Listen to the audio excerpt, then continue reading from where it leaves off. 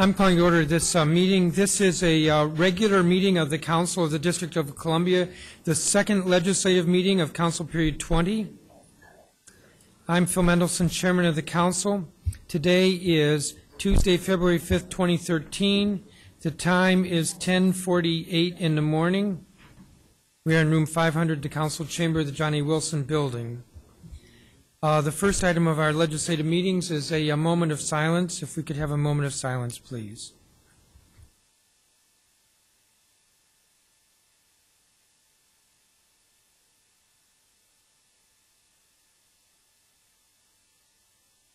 Thank you very much. Will the Secretary uh, determine a quorum? Councilmember Alexander. Here. Councilmember Barry. Here. Councilmember Bonds. Councilmember Bowser. Councilmember, Councilmember Catania. Here. Councilmember Cheh. Councilmember Evans. Here. Councilmember Graham. Here. Councilmember Grosso. Here. Councilmember McDuffie. Here. Chairman Mendelson. Present. Councilmember Orange. Councilmember Wells. Here. Mr. Chairman, you have a quorum. Uh, Thank you very much. Uh, If there's no objection, I'm going to take out of order uh, item 7A, which is the ceremonial resolutions on the consent agenda. I'm going to do that because, at this time, because we have a presentation of two ceremonial resolutions, one of which is on the consent agenda. So if there's no objection, what we have before us is item 7A, the um, reading and vote on proposed ceremonial resolutions. First, I'll ask if anybody wants to remove anything from the- that portion of the consent agenda. Hearing nothing. Uh, Then um, 7A, all those in favor of approving the ceremonial resolutions on the consent agenda, say aye. Aye.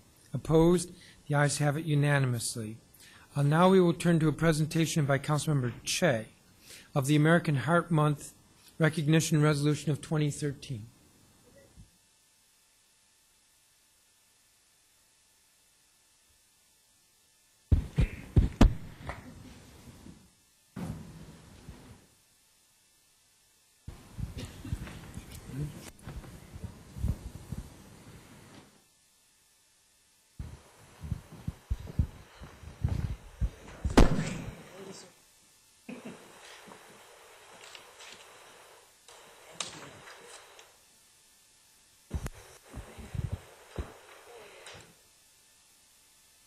Good morning, everybody. Good Last Friday, February 1st, marked the 10th anniversary of the National Wear Red Day. the day dedicated to raising awareness about heart disease, the number one killer of women and men in America. Since the full council is convening today for a legislative session, we're wearing red here in the Wilson Building and presenting this resolution to the American Heart Association in honor of the victims uh, of heart disease and stroke and to support expanded uh, research uh, for these uh, ailments. Most risk factors for heart disease, including high blood pressure, high cholesterol, physical inactivity, obesity, and smoking, are preventable and controllable. Controlling these risk factors is the key to reducing your risk of a heart attack by 80%. So just by taking some steps every day to reduce our risk for heart disease and wearing red at work, like we're doing, we can spread the word and get others uh, to join us.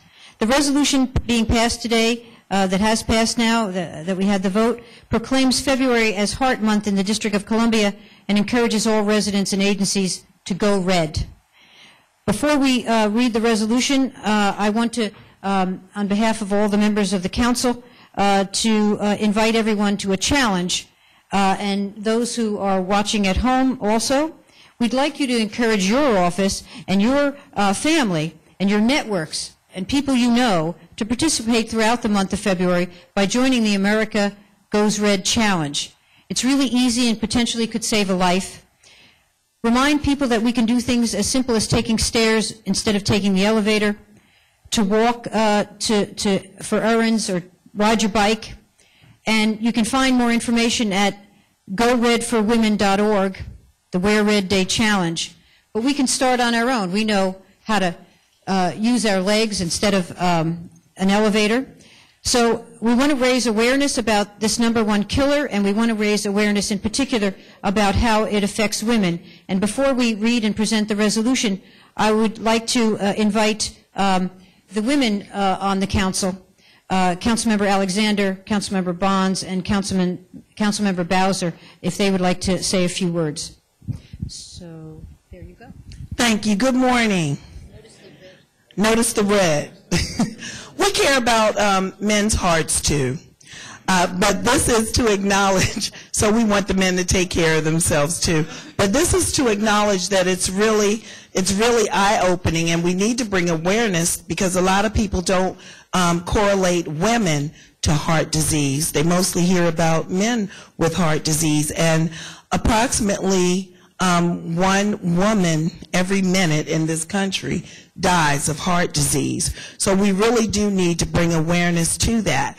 February is known as the month for love and giving of your heart, where we want February to be acknowledged to protect your heart as well.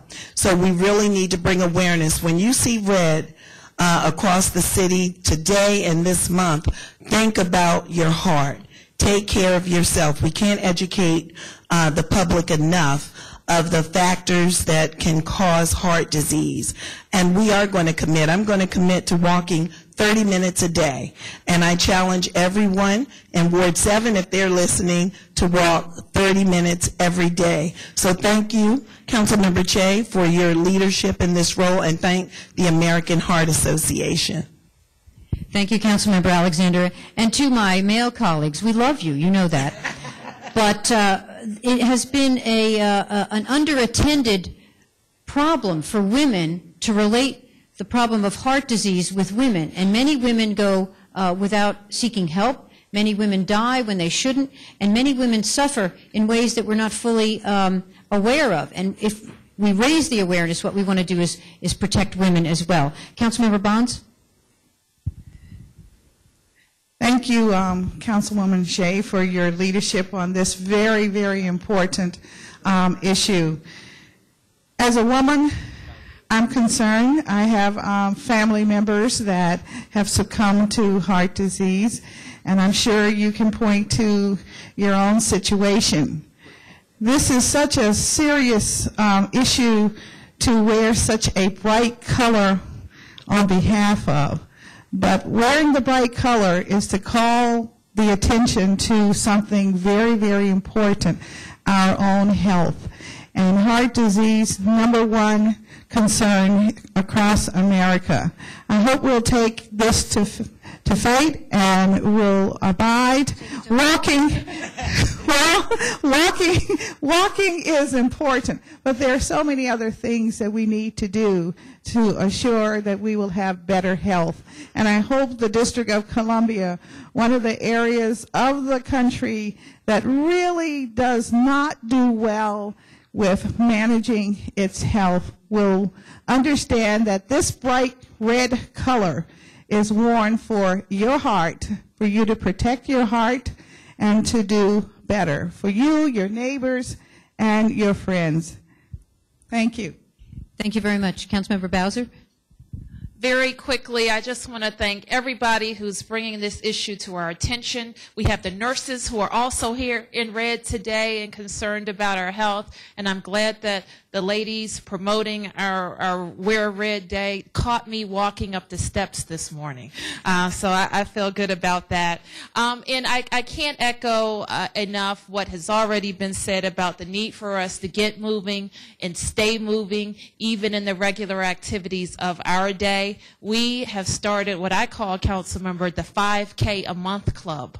Um, and that some of us every month are picking a race to run or walk in um, every month. Uh, to get moving. I think uh, Catania told me he was going to join me uh, one month, so maybe in March uh, that will work. But thank you. We are heavily invested in this city in making sure everybody can have access to insurance. So not just in an emergency when you're feeling sick, but every month uh, or every six months or every year to check in with your doctor and make sure everything is okay, even when you're feeling okay, um, because that's when you can stay ahead of these issues. We have too many women and men in our city dying from preventable diseases. So let's get to preventing them.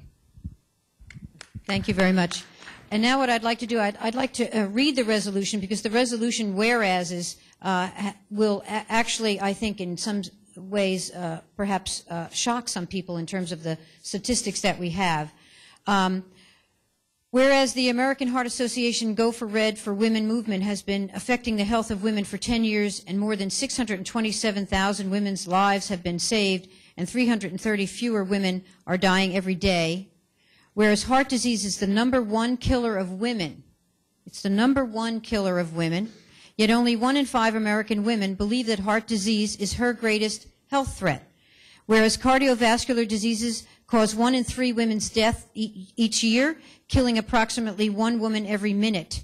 Whereas while progress has been significant in reducing deaths from heart disease, it is still the number one killer of women and men. Whereas uh, cardiovascular diseases are the nation's leading cause of death and the costliest disease with direct and indirect costs estimated to be over $312 billion. Whereas between 1999 and 2009, the rate of death from cardiovascular diseases fell 32.7%, but still accounted for nearly one in three deaths in the nation. Whereas heart disease alone is the leading cause of death in the district, accounting for 722 female deaths in 2012 whereas stroke is the number three cause of death for females in the district, accounting for 138 female deaths in 2012. Whereas heart disease and stroke account for a third of all female deaths in the district. Whereas on average, nearly two women die from heart disease and stroke in the district every day. Whereas an estimated 43 million women in the United States are affected by cardiovascular diseases. Whereas 90% of women have one or more risk factors for developing heart disease whereas women comprise only 24% of participants in all heart-related studies. You see the disparity there? Whereas since 1984, more women than men have died each year from heart disease, and the gap between men and women's survival continues to widen. Whereas women are less likely to call 911 for themselves when experiencing symptoms of a heart attack than they are if someone else were experiencing such symptoms.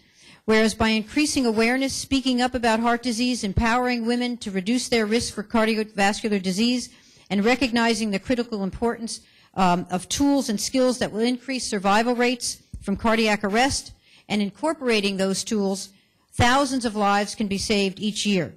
Whereas efforts of the American Heart Association encourage citizens to save lives by calling 911 if symptoms occur, become trained in CPR, and encourage comprehensive automated external defibrillator programs in their communities. And the council has done work in that area too by requiring them to be put, for example, in uh, recreational uh, facilities, and we have further legislation on that coming forward.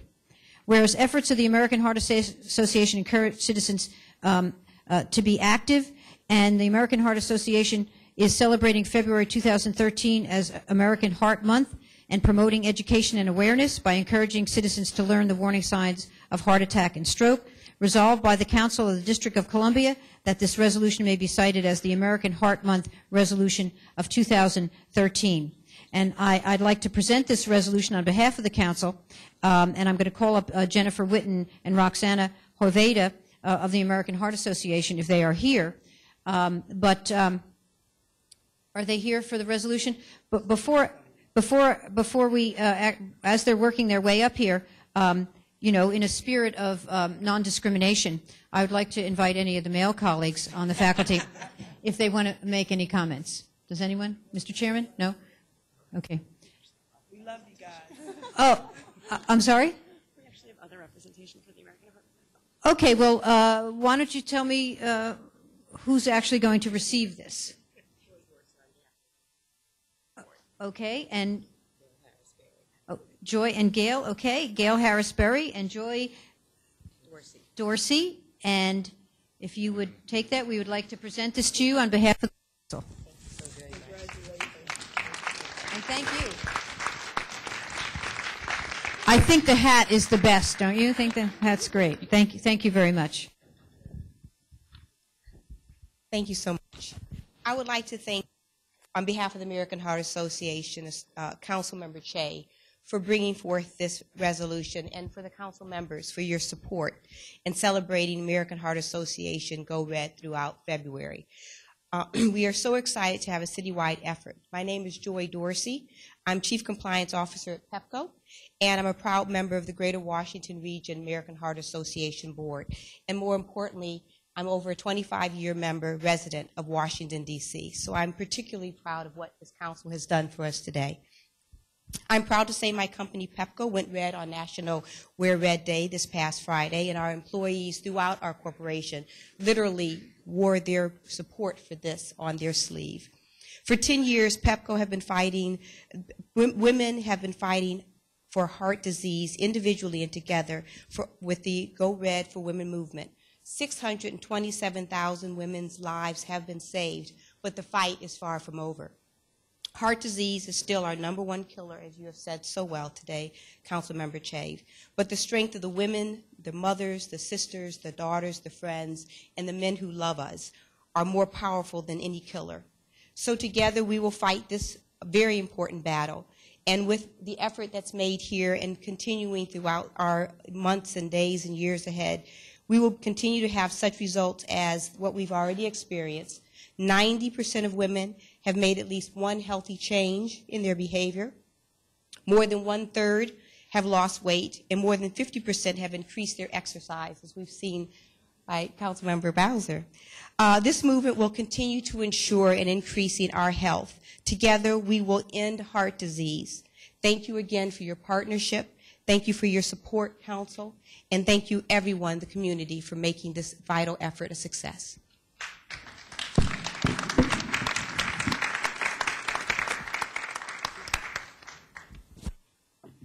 Thank you all.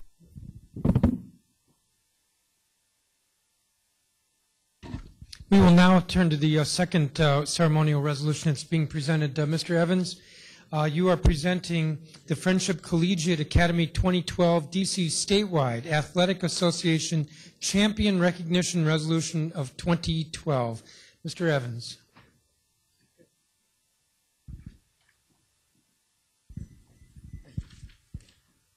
Thank you very much, uh, Mr. Chairman, and good morning, everyone.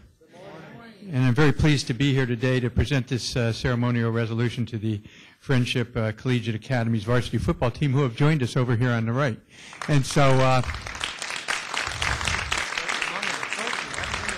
yeah, so can you guys come all up and join us? Somehow we're going to get everybody in here. Come on up. And bring the trophy with you, too.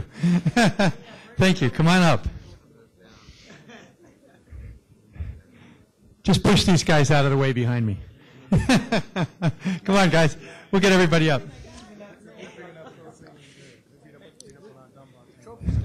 Put the trophy, bring the trophy over here. See, when they when the women tried to exclude the men, I just thought I'd bring a lot of men with me this time.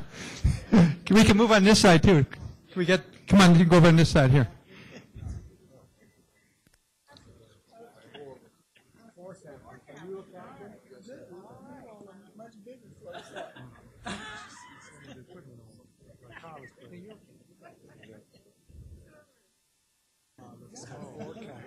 Yeah.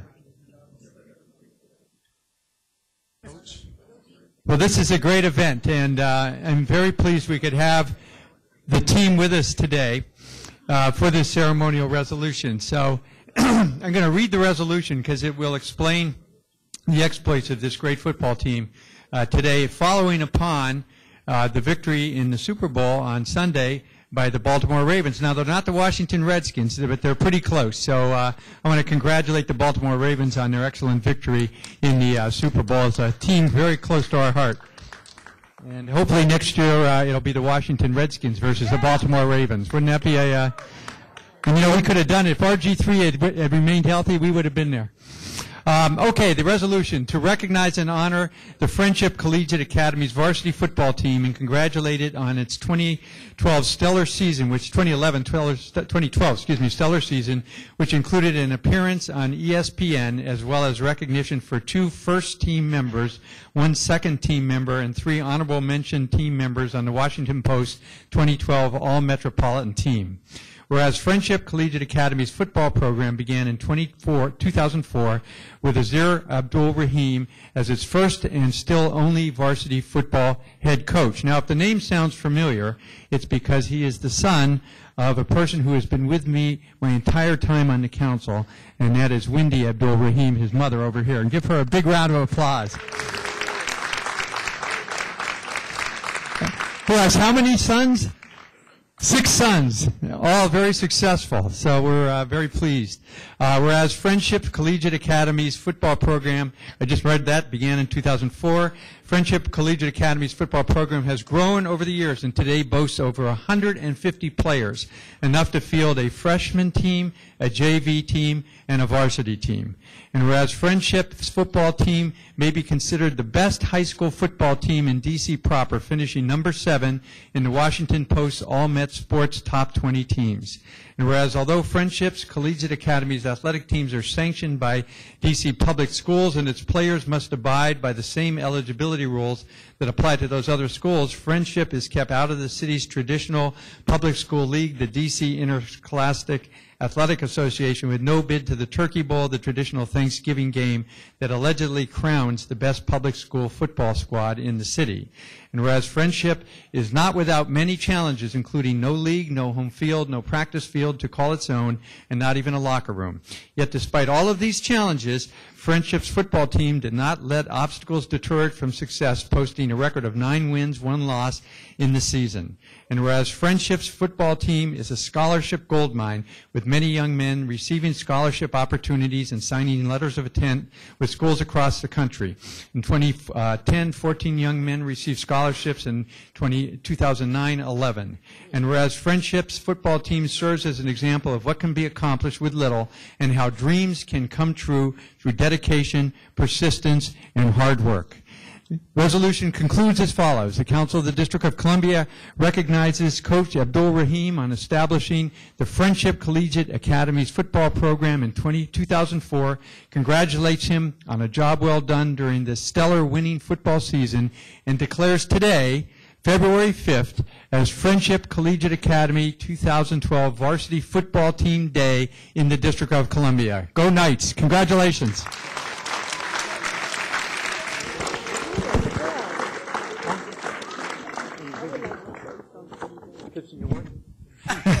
and now I'd like to invite the ward council member, uh, where Friendship is located, Council Member Alexander. Thank you. And, and Councilmember Barry wants to say something too.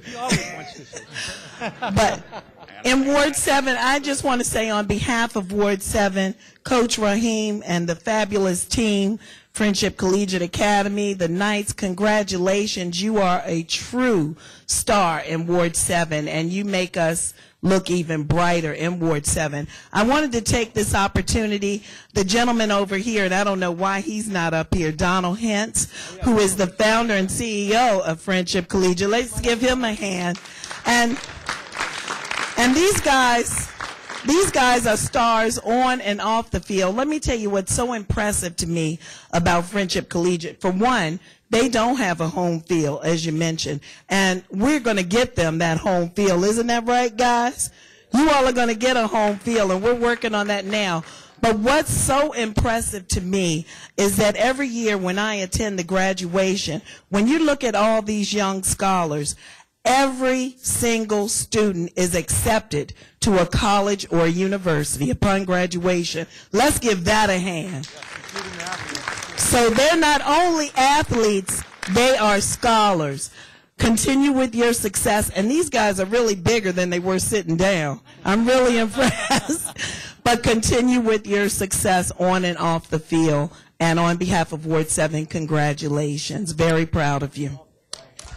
And now we'll hear from Mayor Councilmember Barry. it's always Mayor Barry. It's still morning. Good morning. Good morning. Good morning. The reason I wanted to uh, say something, I wanted to congratulate these outstanding athletes and scholars.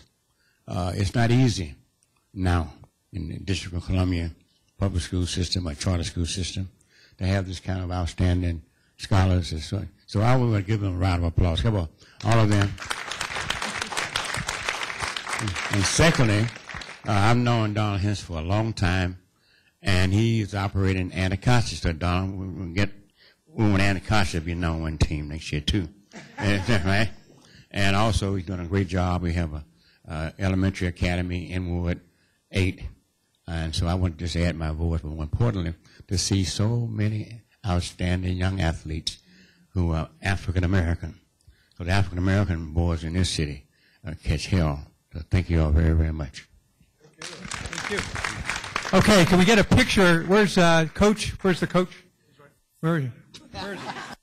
Over here. Oh, there you are, man. No, no, no, I just didn't see you over here. Bring the trophy over here. Get up with the coach, please. Yeah, Come on, Yvette, get up here somehow. I'm walking. Move over. Get Yvette up here.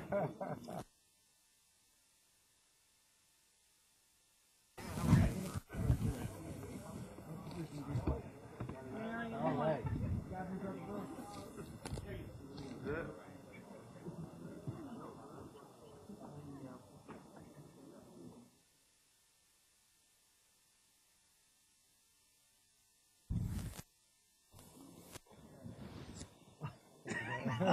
you weren't playing on the team. I probably.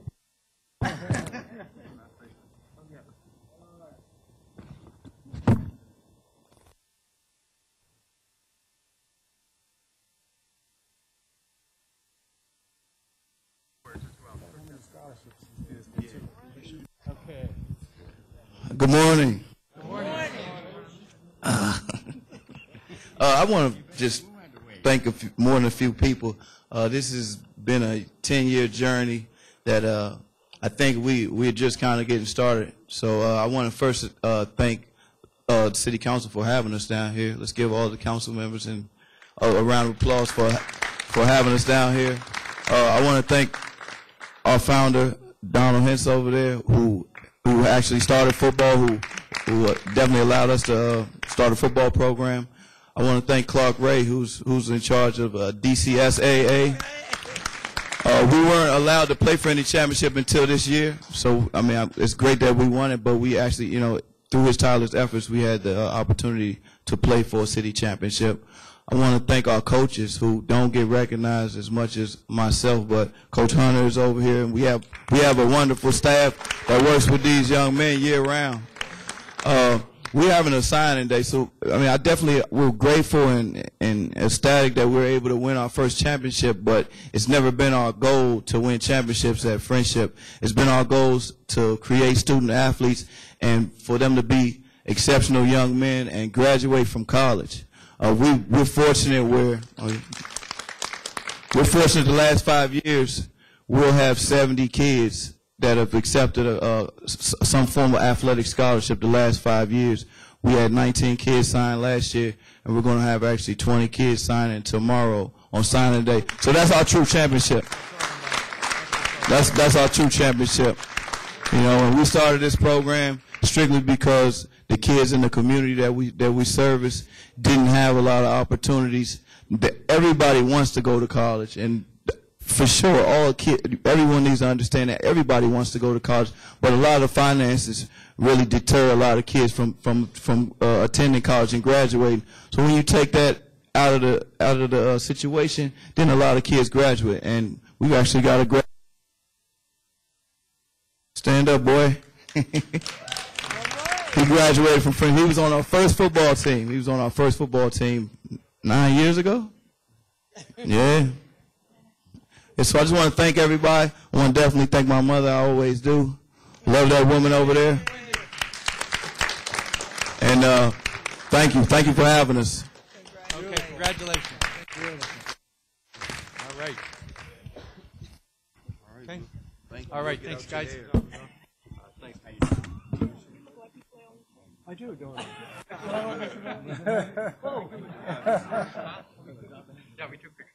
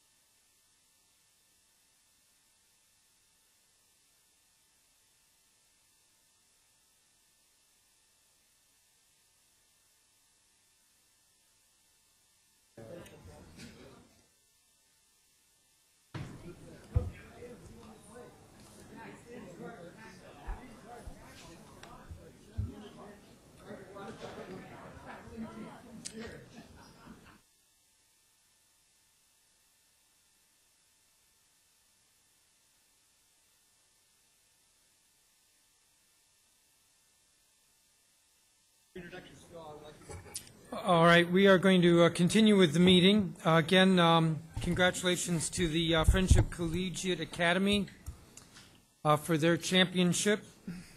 Uh, We will now proceed to item five on the agenda, which is the uh, Secretary's report, and I will turn to uh, Councilmember McDuffie. Thank you, Mr. Chair. I move to waive the reading of the Secretary's report. Is there any discussion on the motion to waive reading of the report? All those in favor? The motion to waive, say aye. Aye. Opposed? The ayes have it unanimously.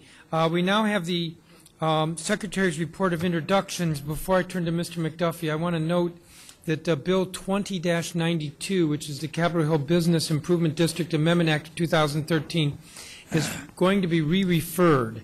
And so the um, report is before us with that um, uh, caveat with regard to Bill 20-92. Mr. McDuffie? Move to waive the reading of the Secretary's log of introductions. Uh, Discussion on the motion to waive? All those in favor of the motion to waive the reading of the Secretary's report of introduction, say aye. Aye. Opposed? The ayes have it unanimously. Uh, We now have introduction by members on the dais. Uh, I have an introduction. I'm going to go f- first. Uh, I think Mr. Chairman? Evans. Yes. um, Mr. I see Chairman. Mr. Orange. Mr. Chairman? Chairman.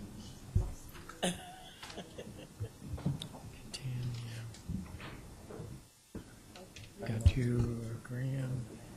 We need the name of the bill. Chairman. Typically it is. It's only that. All right. Yeah. Here's Alexander. Bill one copy out of here that you could just keep. Okay. All right, I believe I've got everybody. Um, I'm going to begin with the introduction of a bill that I'm actually co-introducing with, uh, I believe, eight other members, and it is the uh, Patients, Patient Protection Act of 2013. And this uh, bill is being uh, co-introduced with Councilmember Alexander, Councilmember Barry, Councilmember Bonds, Councilmember Evans, Councilmember Graham, Councilmember Grosso, Councilmember McDuffie, and Councilmember Orange. Uh, This bill addresses a growing concern with regard to the quality of health care that's available to patients in hospitals. And what this bill does is it establishes um, minimum nurse-to-patient hospital, hospital ratios at all times, specific by unit, augmented with additional staffing based on individual patient need. The bill also institutes whistleblower protection for nurses and other healthcare workers who report unsafe conditions, and the bill also bans mandatory overtime for nurses, a dangerous practice that can lead to medical errors. Uh, In short, what this bill does is uh, establish minimum standards so that there's always an adequate number of nurses available to provide patient care. It will, as a result, reduce the incidence of medical errors. It will eliminate burnout that we hear of often with regard to nurses uh, who feel overworked and um, are overworked. Uh, It will reduce uh, the need for overtime, and uh, it will, in short, improve quality of care. In the end, uh, what we care most about uh, from a government perspective, which is one of public health, is that patients who need health care receive quality health care. It's not just simply about matching a patient to a bed, but matching a patient to quality health care. If, uh, if, uh, we had a press conference yesterday, there was one person who, who spoke, who talked about her personal experience uh, delivering, uh, delivering birth to her child and a, um, with a uh, postpartum unit that was understaffed with nurses. And as a result, uh, she had to wait a long period of time when her infant needed help. Uh, she felt that that actually uh, had some adverse consequences. It took several months to resolve, and the need for specialists because of inadequate staffing. Inadequate staffing because there weren't enough nurses on duty, uh, because of a shortage, or because uh, nurses are um, uh, forced to work long shifts, including overtime, and therefore are not um, as good in the 12th or 14th hour as they would be in the first hour. I mean, we've seen this over and over again with regard to health care, including the area of emergency medical services provided by this government, that overtime is not good for quality health, and uh, this bill addresses that indirectly by establishing these minimum uh, standards. Uh, Let me, in the moment, seconds left, turn to uh, Councilmember Alexander, who's Chair of the Health Committee. If you want to say anything with regard to this bill, this introduction? I- I'm- Uh, Thank you, Mr. Chairman. Uh, I think all was said yesterday uh, at the press conference, but we are really, uh, really excited and really pleased um, with the leadership from the Nurses Association, and it just makes sense. Our our residents of the District of Columbia, uh, their safety and their health is what's most important to us. So this measure is really important. I look forward to the upcoming hearing uh, to hear testimony from so many people that spoke so eloquently and passionately about this legislation. So I'd like to thank you, Mr. Chairman, for your leadership on this issue, and I look forward to holding a hearing very soon. Thank you. Thank you, Councilmember Alexander. Are there co-sponsors for the bill? Mr. Chair, I'll Uh, co-sponsor. Mr. Wells as a co-sponsor, and Councilmember, uh, Bar- um, Councilmember Barry? I believe you're co-introducer. Yes. Uh, Further co-sponsors? All right, this uh, measure will be referred to the Committee on Health. Um, Councilmember Evans for introductions?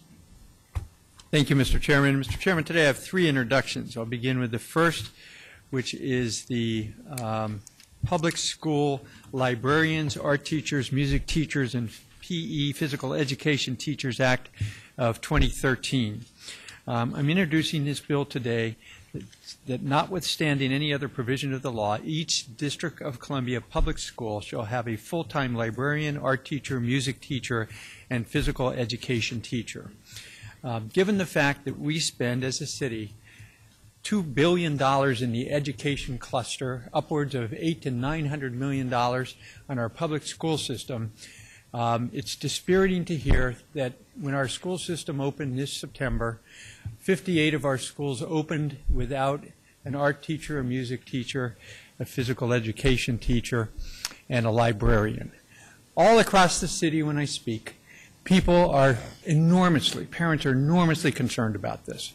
Um, and so, in discussions with the public school system, I still can't get a commitment that each school, every school in our city, will have these four basic persons in charge of these areas.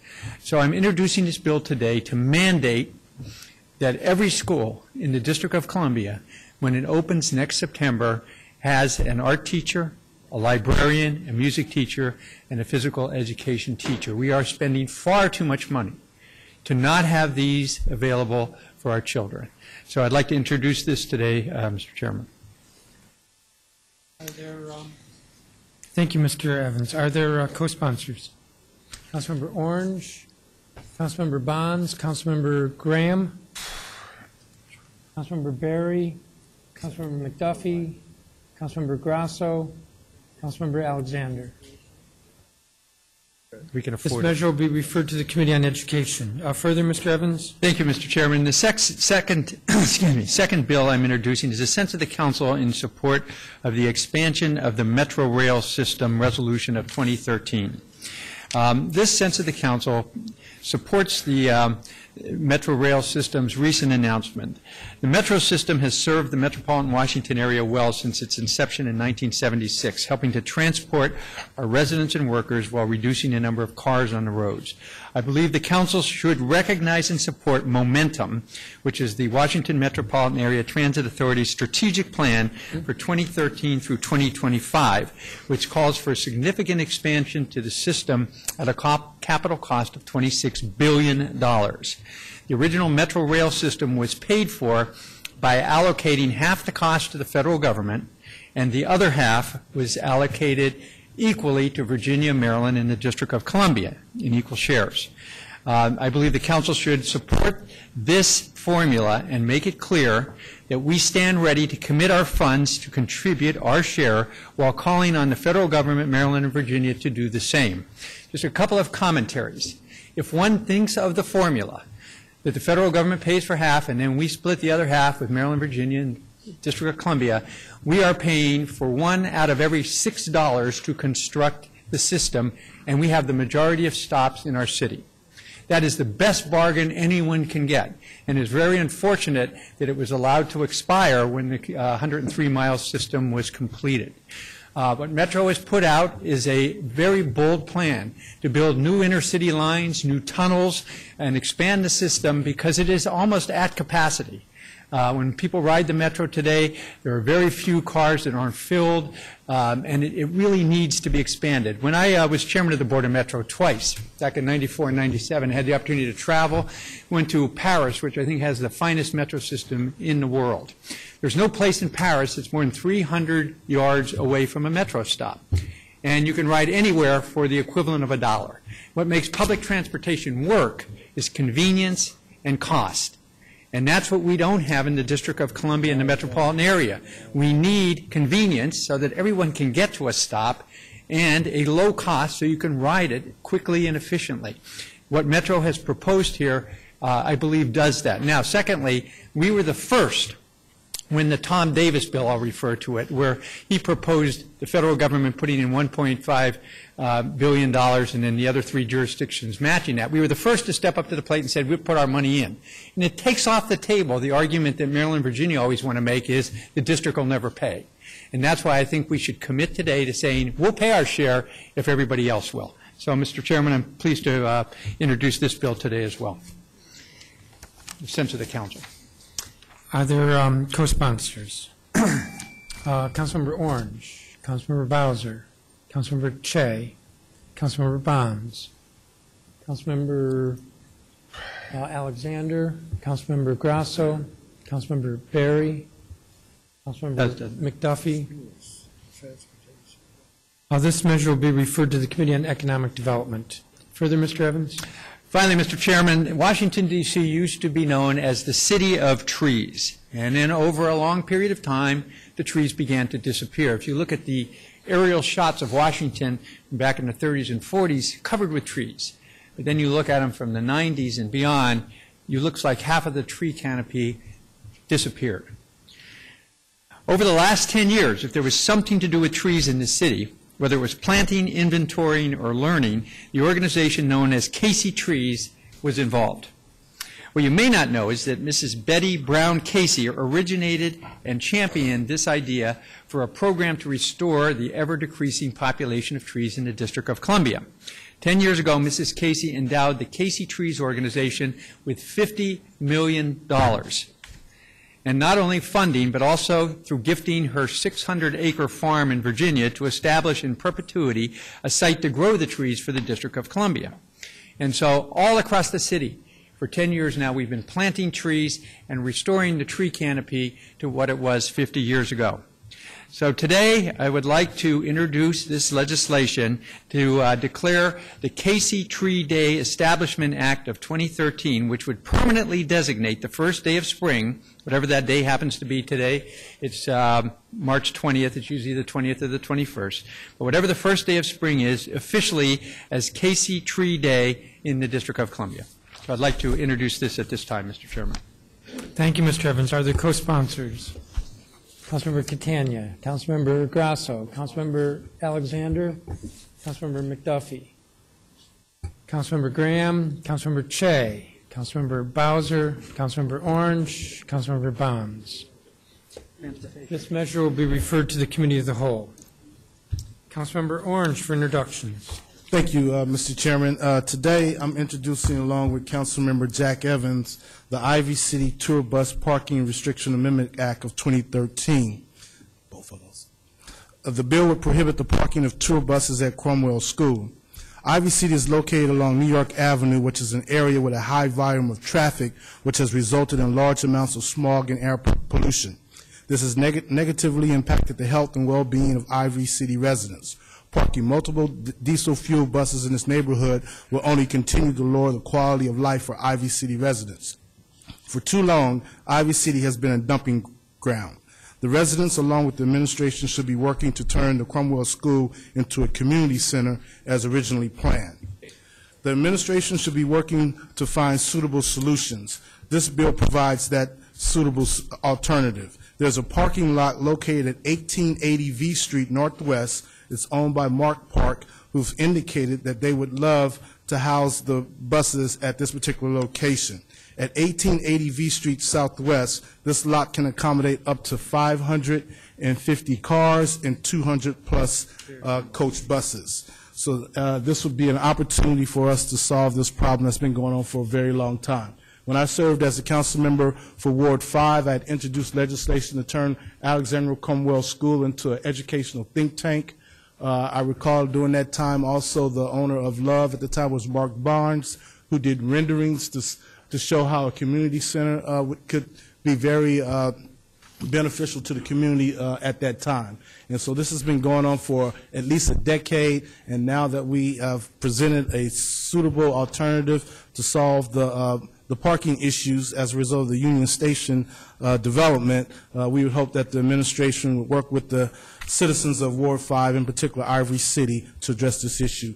Now I'd like to offer Councilmember Jack Evans the opportunity to speak to this matter if he so desires. Mr. Chairman. Uh, Thank you, uh, Councilmember Orange, and I'm pleased to join with you today to introduce this uh, piece of legislation um, that will really, really benefit uh, the residents of Ivy City. Um, Tour buses are important in the District of Columbia. Tour buses uh, bring tourists, obviously, which is uh, our second largest industry after the federal government, and actually soon will pass the federal government. However, tour buses can be an enormous, enormous impediment uh, on a neighborhood if parked there. They um, tend to run idle, give off exhaust fumes, and become uh, a real blight. Um, We have worked over the years to try and find places for tour buses to go. Um, I introduced and I was responsible for getting legislation passed that required tour buses to not idle, that after several minutes, they have to turn off their engines, five minutes, have to turn off their engines, and uh, to really reduce the negative impact they have on neighborhoods. But to put them all in one neighborhood, I think would be a real mistake, so I'm glad to join with you, uh, Councilmember Orange. Mr. Chairman, we would uh, ask for uh, co-sponsors. Are there co-sponsors for this uh, legislation? Uh, Mr. Graham. Uh, Section 2 of this bill, uh, ordinarily I wouldn't uh, break up like this, but uh, they're very different. Section 2 will be referred to the Committee on Transportation and the Environment, and Section 3 will be referred to the Committee on Education. Further, Mr. Orange? Yes, uh, thank you, Mr. Chairman. Uh, Mr. Chairman, today I'm also uh, introducing, along with Councilmember Jack Evans, the sense of the council supporting Mayor Gray's and Congresswoman Norton's efforts to maintain the FBI headquarters in the District of Columbia.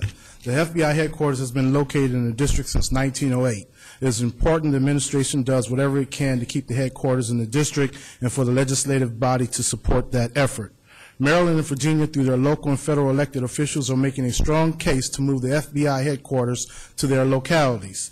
The council should wholeheartedly support Mayor Gray's and Congresswoman's, Congresswoman Norton's effort to maintain the FBI, FBI headquarters in the district, and we need to raise the volume of noise to let us, let them know that we are part of this equation as well.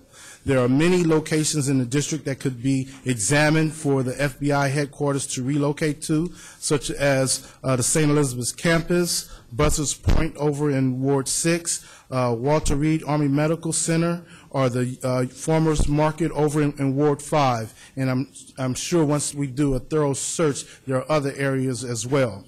It is clear that Maryland and Virginia lack the transportation infrastructure to properly support the new FBI headquarters on top of all the employees that come to the district on a daily basis to the FBI headquarters, the headquarters also attracts in excess of 500,000 tourists a year, which is a boost to the District of Columbia economy.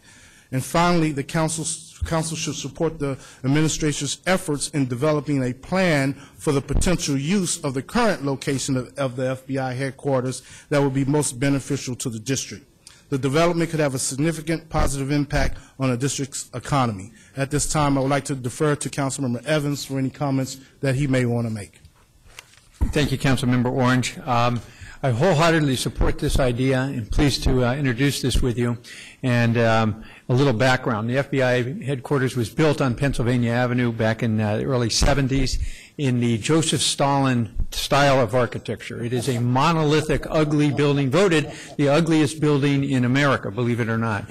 Um, the FBI has resisted any efforts to um, have a more inviting building. At one time, we proposed having uh, uh, cafes or putting artwork on it, and they've resisted all efforts, and it really remains the last stumbling block uh, towards the renovation of Pennsylvania Avenue. So we're pleased the GSA is looking to remove it, but we don't want it moved out of the city. Virginia and Maryland have offered up places, as Councilmember Orange mentioned. We have better places in every category for the FBI to relocate. They need, uh, I believe, 40 acres of land. They're going to combine their uh, field offices, which are numerous, and employees, and it needs to be in the district. And the two reasons Councilmember Orange mentioned, it brings a lot of people into the city, employees, and it brings a lot of tourists. And the places he mentioned are accessible to cars, metro stops. It is a number, a very big tourist attraction, and we need to keep it here, and we need to step up the effort. I haven't read a lot about the district doing anything. I have read a lot about Virginia and Maryland. Thank you. Co-sponsors. Councilmember Bonds. Councilmember Alexander, Councilmember Catania. Uh, This measure will be referred to the Committee of the Whole with comments from the Committee on Economic Development. Further, Mr. Orange? Yes, uh, Mr. Chairman. Finally, I'm introducing today the Council Members Outside Employment Disclosure Act of 2013. Uh, This bill will require any member of the council who holds outside employment to file a report with the Board of Ethics and Government Accountability, reporting the number of hours they work and the salary they are paid on a monthly basis. The board will have two weeks to upload the information on their website. Members who violate this provision will be subject to fines and penalties that are set by the board. The bill expands on the bill introduced on January 8th that would ban contractors who hire council members from receiving contracts from the district.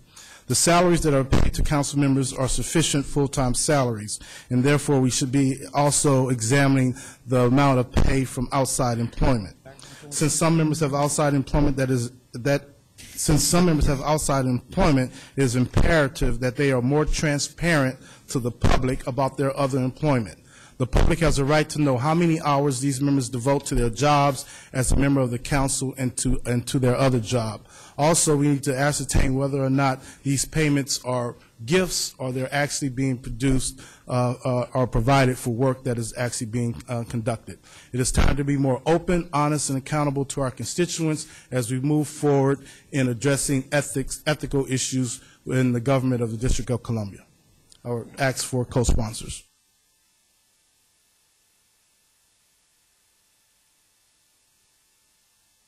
Uh, Give me just a moment to look at the referral.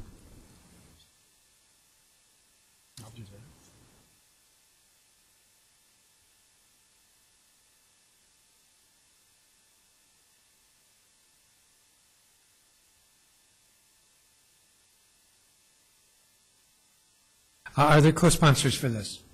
Councilmember Bowser? Councilmember Bonds? Uh, This uh, measure will be referred to the Committee on Government Operations. Thank you very much, Mr. Chairman. And co-sponsored by uh, Councilmember Catania. Thank you, Mr. Orange. Uh, Councilmember Barry for introductions.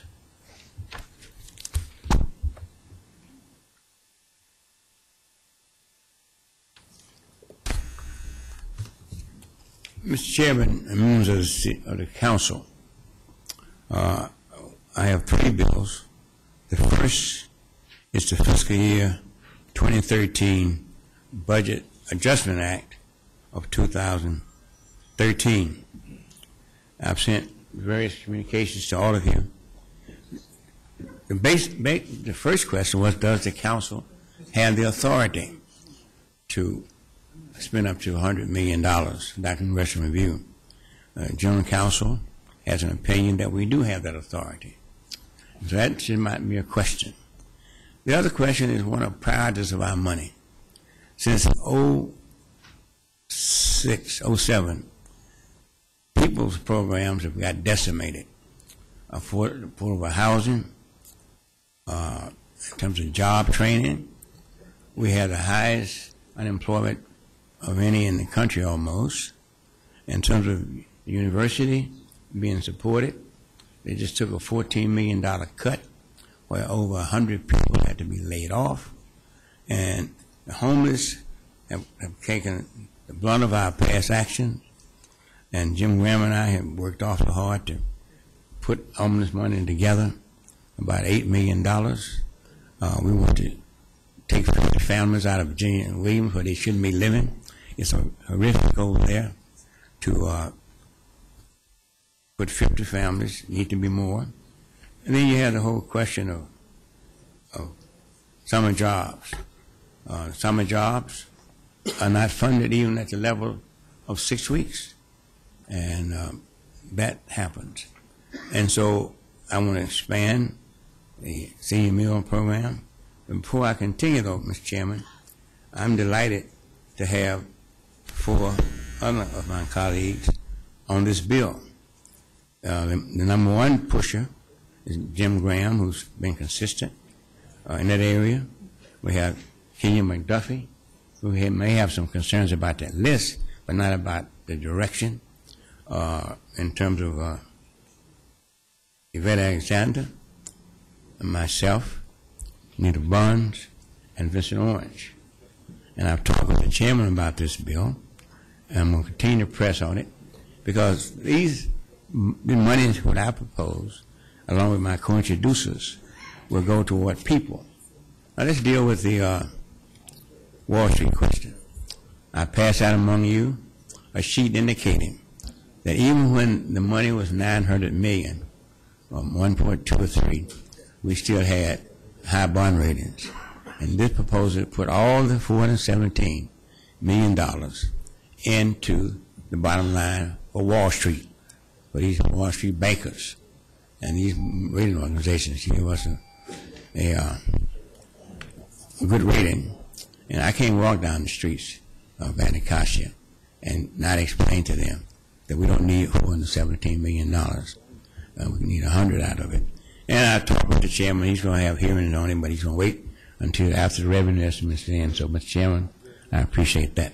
That's my main bill. I want to thank my co-introducers uh, for doing this because they recognize this is the right thing to do. Um, Mr. Chairman, in terms of uh, my other bill, it's the uh, elderly abuse. Um, Mr. Fund. are you moving to your second bill? Because why don't we finish with the first I'm, one? I'm sorry, I, I forgot to ask for co-sponsors. All right, well, I'll ask for co-sponsors. Are there co-sponsors for the uh, fiscal year 2013 Budget Adjustment Act? All right, this bill will be referred to the Committee of the Whole. Mr. Barry for the second bill. Mr. Chairman, I'm, I'm pleased to, to introduce along with Councilman Barnes, Alexander, and Graham, the Charles and Hilda Mason Elderly Abuse Classification Expansion Act of 2013. This bill would amend Criminal Abuse and Neglect uh, 2000 Adult Protection Service Act of 1984 and Title 21, 21 of the District of Columbia Official Code to establish stricter penalties for elderly abuse or failure to report abuse, create more autonomy for elders, decrease criminal penalties for elder abuse, uh, increase, establish financial abuse in the form of elderly abuse, and prevention a convicted uh, clause from inheriting from their victims. Chairman, there are over 100,000 seniors in this city, uh, which is uh, one-sixth of our population. And we have instances where even in their own homes, the elderly are abused, either by family members or by caregivers. Uh, we, we passed an act that allows an ombudsman to go beyond just these homes, but into their individual homes. And people in, in the dawn of life are young people, but people in the sunset years of their life shouldn't be subject to this kind of abuse, shouldn't be subject to arbitrarily uh, people harming them without any recourse. This bill, Mr. Chairman, uh, will give our seniors another tool to report their abuse. It also requires those who know of abuse, which means they could be caregivers, they could be family members, be mandatorily required to report, as we have done uh, in other cases in the city. And also, uh, it prevents a convicted abuser from inheriting from their victims, which means if it's a family member who may be in one's will when they probate it, they cannot get a penny because they have abused uh, their family member. And so uh, we have other states dealing with this. Legislation will bring uh, penalties for elder abuse and failure to report abuse to the same level as nearby jurisdictions, Maryland and Virginia. We're also establishing a financial abuse as a type of abuse in our code. Financial abuse is often uh, used to exploit our seniors by fraudulently uh, signing checks for them or inheriting from an elder that someone has abused. Financial abuse is defined in Maryland Code, whether it's California. And so a senior presence is required for every hearing regarding their guardianship or conservatorship. The chairman often have now the guardianship or conservatorship at the probate level does that. So, Mr. Chairman, I'd like to ask for co-sponsors uh, for this very, very important bill of trying to decrease every abuse in the District of Columbia. We should get down to zero, but that's unrealistic, but we're going to get down a great deal. Thank you. Th- Thank you, Mr. Barry. Are there co-sponsors for this bill? Councilmember Bowser? Councilmember Orange? Councilmember Bonds?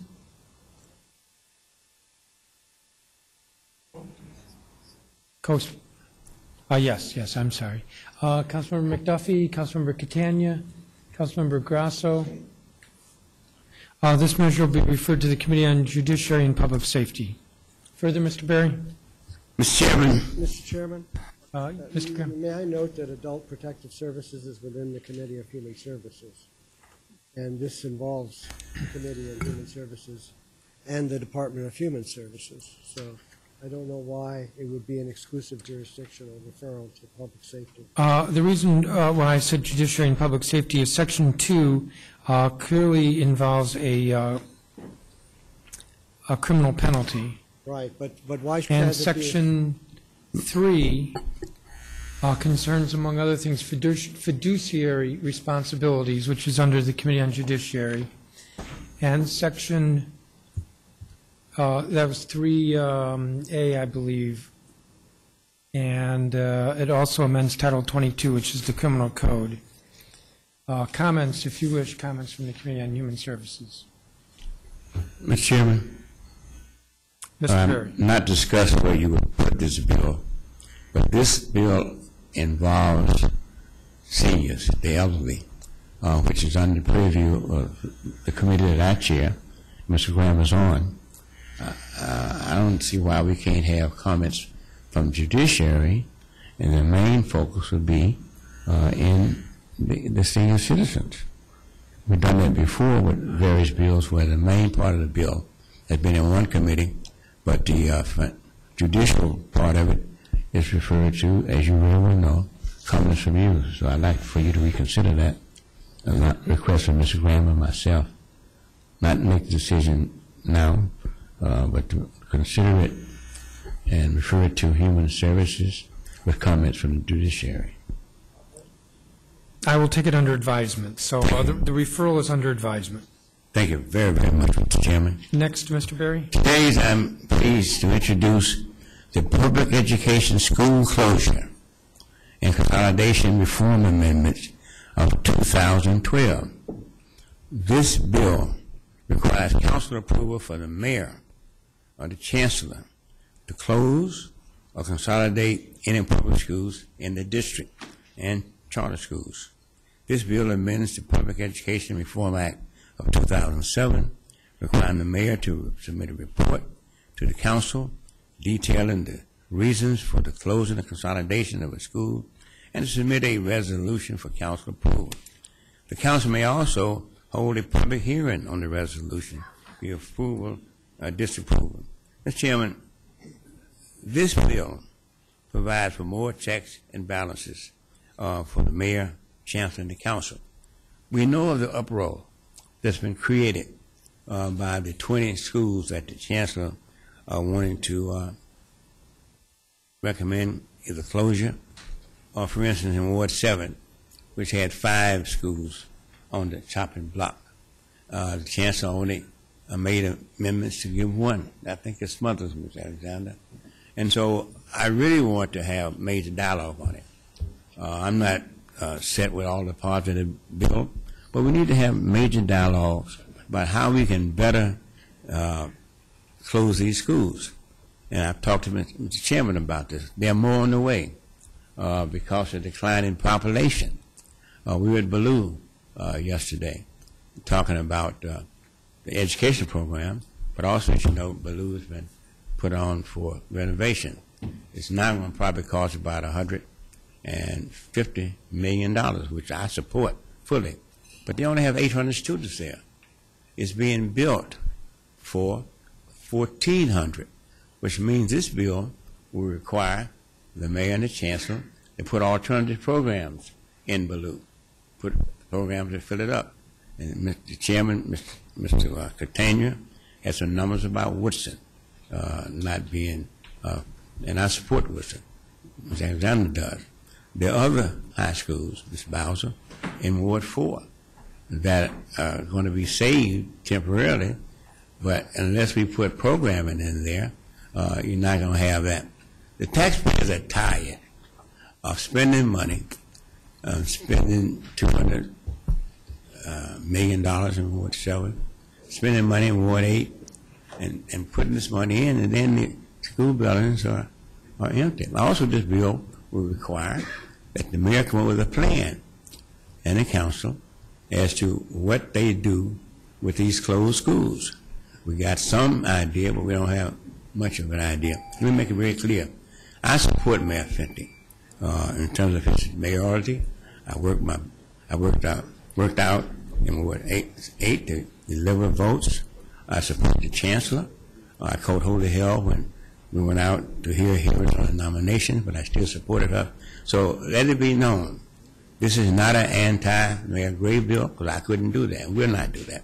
Not an Henderson bill, because I support that. And education is such a vital part of our Mr. community. Barry, your time's expired. Okay, well, thank you. I ask for co-sponsors, Mr. Chairman. Are there co-sponsors for this? This is the Public Education School Closure and Consolidation Reform Amendment Act. Co- Co-sponsors? Councilmember Alexander? This measure will be referred to the Committee on Education. Thank you, Mr. Chairman. Thank you, Mr. Barry. Mr. Catania for introductions. Uh, th- Thank you, uh, Mr. Chairman. Today I'm pleased to introduce, along with Council Members Cheh and Barry, the Testing Integrity Act of 2013. Uh, Mr. Chairman, statewide assessments are an indispensable method of measuring the academic progress of students. These assessments are in fact required under the federal, uh, federally mandated No Child Left Behind Act. Uh, given that so much is at stake with the outcomes of these assessments, it's imperative that they be administered in a way that ensures the integrity of the results. Each year, the district's comprehensive annual assessment, known as DC-CAS, tests the proficiency of district students in grades 3 through 8 in the 10th grade in the subjects of reading, math, composition, science, and biology. In recent years, allegations of cheating on the district tests, in particular at Noyes Elementary School, have been investigated by the district's Office of State Superintendent of Education, the Inspector General, the U.S. Department of Education, and according to news reports, the U.S. Attorney for the District, District of Columbia. While none of these investigations has uncovered widespread cheating, at least some questions whether the district has appropriate protocols in place to ensure the security and integrity of its an- annual examinations is at issue. Parenthetically, Mr. Chairman, it's worth noting that the district is not alone when it comes to the issues of testing integrity. A recent article by the, Atlantic, the Atlanta Journal-Constitution identified nearly 200 school districts across the country that exhibited patterns of suspicious scores. Currently, there is no law in the district or a municipal regulation focused on testing integrity. Instead, the only guidelines that exist are those issued by the Office of the State Superintendent of Education and developed by our testing vendor, McGraw-Hill.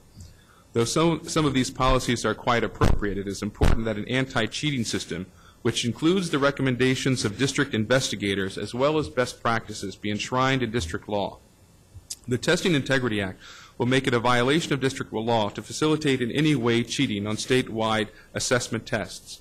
The legislation requires public schools and public charter schools, among other things, to develop and submit to OSSE a testing security plan that describes the procedures used for storing test materials in a secure location, monitoring test administration in individual schools, and a description of the plan used in training personnel in test security. DCPS and our public charter schools will be required to identify a system-wide test integrity coordinator as well as test, testing integrity monitors at each school. The legislation identifies impermissible behaviors and actions or those that could constitute cheating as an alternative test, uh, such as uh, altering test documents or allowing students to preview test items, among other things. Finally, the legislation I'm introducing establishes a requirement of signed affidavits for specified individuals responsible for administering assessments uh, in schools, as well as a procedure for instituting sanctions for violations of testing security that range from restrictions on a teacher's certification to cancellation of a teacher's certification to teach in the district. Mr. Chairman, few states currently have statewide laws focused on testing integrity. Indeed, if enacted, the Testing Integrity Act will place the district at the forefront of jurisdictions to ensure the integrity of our student assessments. District parents deserve a testing system where cheating does not occur, and more importantly, a system where cheating cannot occur. And our educators deserve to have student gains beyond dispute and reproach. Mr. Chairman, at the end of the day, this legislation, uh, this legislation creates a framework under which the Office of the State Superintendent of Education will establish, monitor, and enforce the highest standards of testing integrity, something that is long overdue. I welcome co-sponsors, Mr. Chairman. Thank you, Mr. Catania. Are there co-sponsors? Councilmember Orange, Councilmember Bowser, Councilmember Evans, Councilmember Bonds, Councilmember Wells, Councilmember Alexander, Councilmember Grosso, Councilmember McDuffie. This measure will be referred to the Committee on Education. Further? Uh, Thank you, uh, Mr. Chairman. Today I'm pleased to introduce the Belmont Park Designation and Establishment Act of 2013, along with Council Members Cheh and Evans. Uh, This legislation designates the public right-of-way west of Connecticut Avenue Northwest at the Belmont Road and Connecticut Avenue intersection as a public park and transfers responsibilities for this area from the district's Department of Transportation to the Department of Parks and Recreation. Uh, This transfer will place the property in the district's portfolio of public parks. Uh, Mr. Chairman, for years, district residents have used this right-of-way at the corner of Belmont and Connecticut Avenue Northwest, which was uh, never opened as a public road, as a place they gather, take scenic walks, and otherwise simply enjoy the beauty of the area. It is, in practice, Mr. Chairman, a park. However, considering that the area is not ma- maintained by, currently by the Department of Parks and Recreation, it does not receive the maintenance and upkeep necessary to make the area safe and enjoyable for the community, uh, as it might be if it were officially designated as a park. It is my hope that by transferring responsibility for Belmont Park to the Department of Parks and Recreation, that fallen tree branches, garbage, wild grass, and other debris will be removed and that the facilities will be maintained, or the, the park will be maintained. Uh, the district has many urban parks, uh, Mr. Chairman, that make the, the place a busy, the, the city a, a a special place uh, for our residents. Uh, the community surrounding this area has clearly expressed a desire that this property be added to the district's roster of public parks, and I would urge my colleagues to support them in this effort. Uh, I would welcome co-sponsorship, and Mr. Chairman, uh, if uh, either of my co-introducers or co-authors would have a statement, I would welcome that at this time.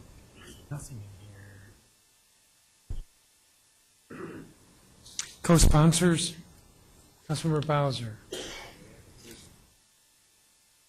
Councilmember Wells, Councilmember Grosso.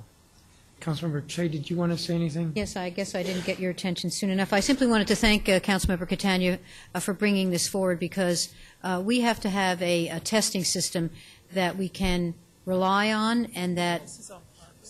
Uh, oh, on the park. I'm sorry. Well, and we should have a park that has a good testing system that. Um, never mind. I lost track of. Thank you, Councilmember Cheh. So many bills, so little time. Thank you, Councilmember Cheh. Uh, Are there any further co-sponsors? Uh, This measure will be referred to the committee of the whole. Further, Mr. Catania?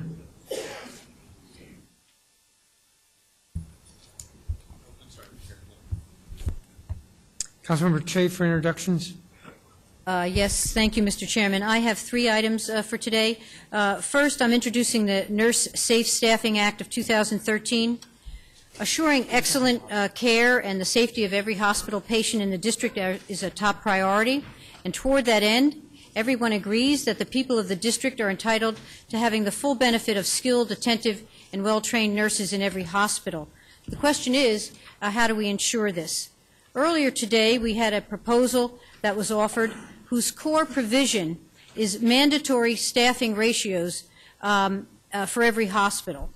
And as, as the heart of, of that proposal, um, this is offered as an alternative. For patients seeking improved care, an inflexible wooden one-size-fits-all approach isn't the answer. In fact, it may degrade it. And just two points.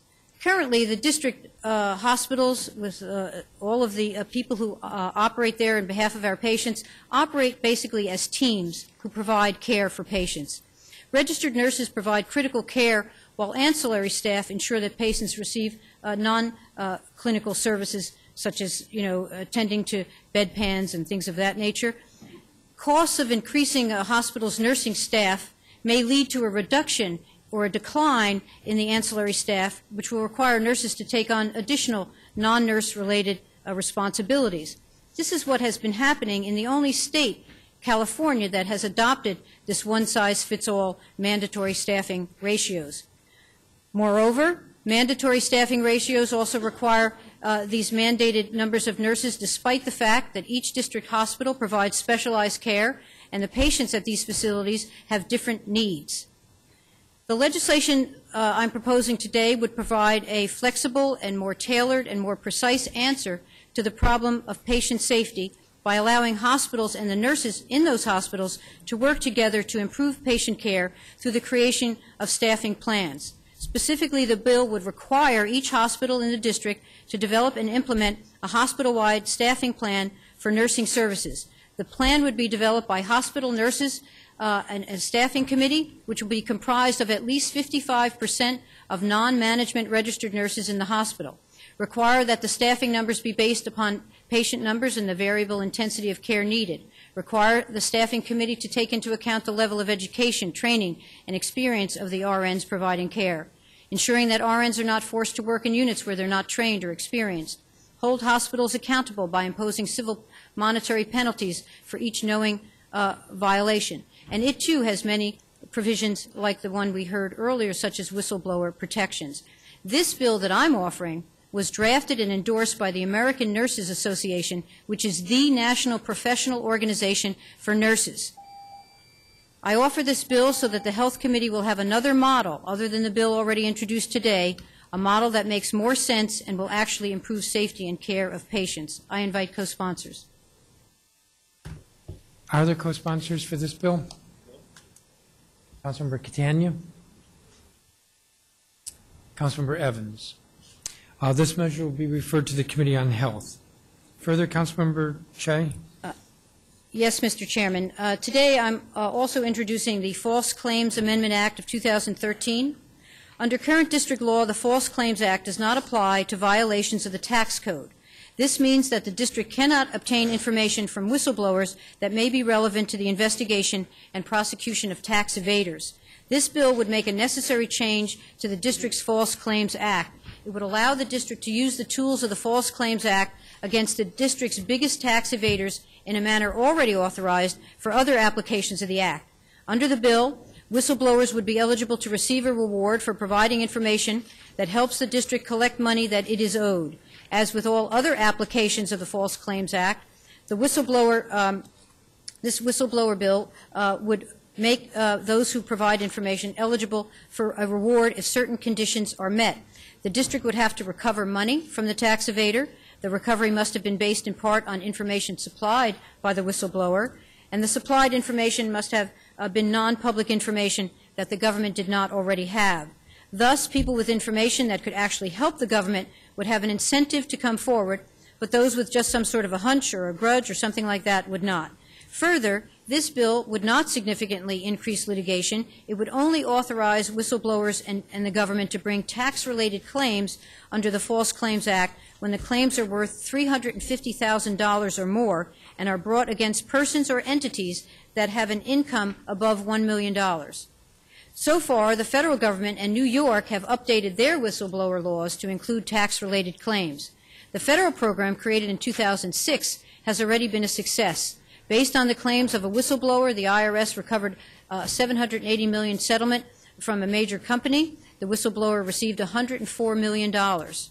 Further, this case ultimately led to 14,000 delinquent taxpayers coming forward, allowing the IRS to recover more than 5 billion in previously unpaid taxes.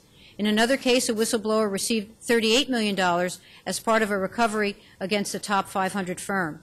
On the state level, New York updated its False Claims Act in 2010. Since then, one tax-related case has been brought under the Act, a case that is pending, and if the state of New York is successful in that case, it could recover more than $300 million in unpaid taxes.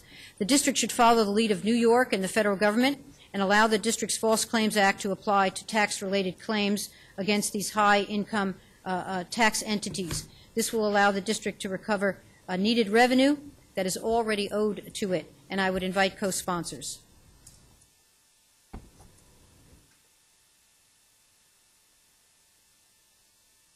Co-sponsors? Councilmember Bonds? Um, This measure will be referred sequentially, first to the Committee on Judiciary and Public Safety, and then to the Committee as a whole. Further, Councilmember Cheh? Yes, thank you, Mr. Chairman. Uh, Today, I'm also introducing the Sense of the Council Clean Air Cities Resolution of 2013. By passing this resolution, the district will join with cities across the country in urging the President and the Environmental Protection Agency to move as swiftly as possible to mitigate carbon pollution which is causing climate change. Other cities uh, that have already passed similar resolutions include Los Angeles, Chicago, Cincinnati, Milwaukee, Seattle, Pittsburgh, Nashville, Philadelphia, Miami, Detroit, Salt Lake City, and Kansas City. Climate change is already affecting our planet as we know. As the resolution explains in great detail, the last decade was the warmest on record.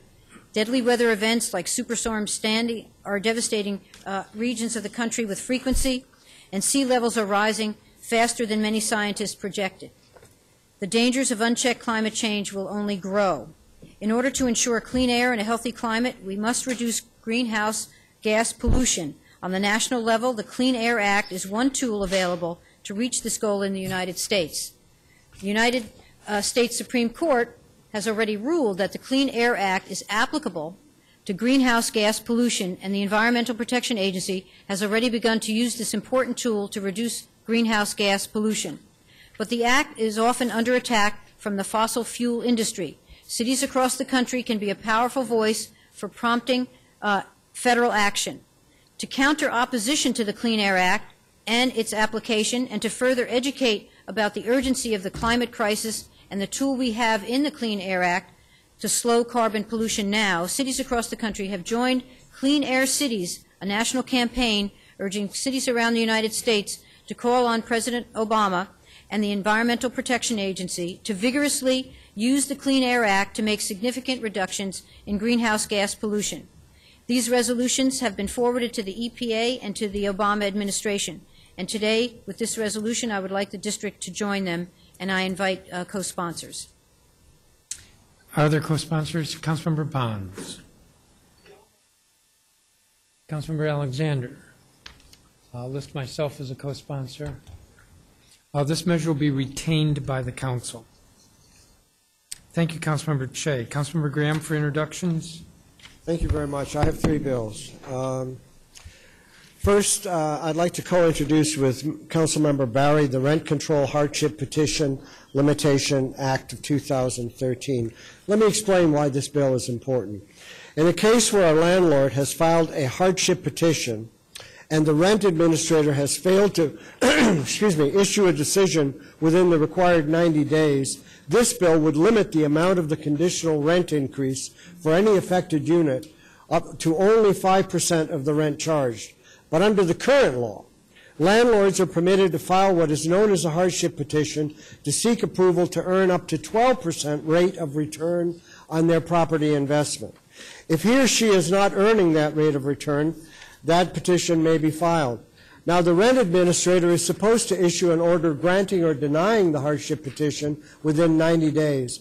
However, what actually happens is that very often the rent administrator fails to rule on the petition within 90 days, and at the occurrence of the 90 days, the landlord may then take a conditional rent increase in accordance with the request in the petition.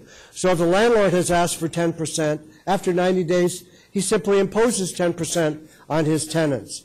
This can occur until the, and the increase continues until the rent administrator issues his or her final ruling. When petitions languish before the rent administrator, as they have at various times over the years for a variety of reasons, conditional rent increases can drive tenants out of their apartments. Even if it is found that a petition has languished for an excessive amount of time, a displaced, a displaced tenant may longer, no longer be able to return to their apartment. Thus, they have essentially been evicted.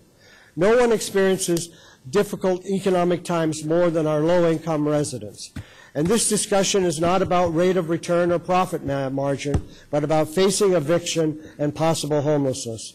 The bill would limit any increase on a temporary basis to, to 5% or less, and it strengthens important tenant protections that are contained in rent control and that ensures that our tenants are not vulnerable to the inaction of the city official, the rent administrator.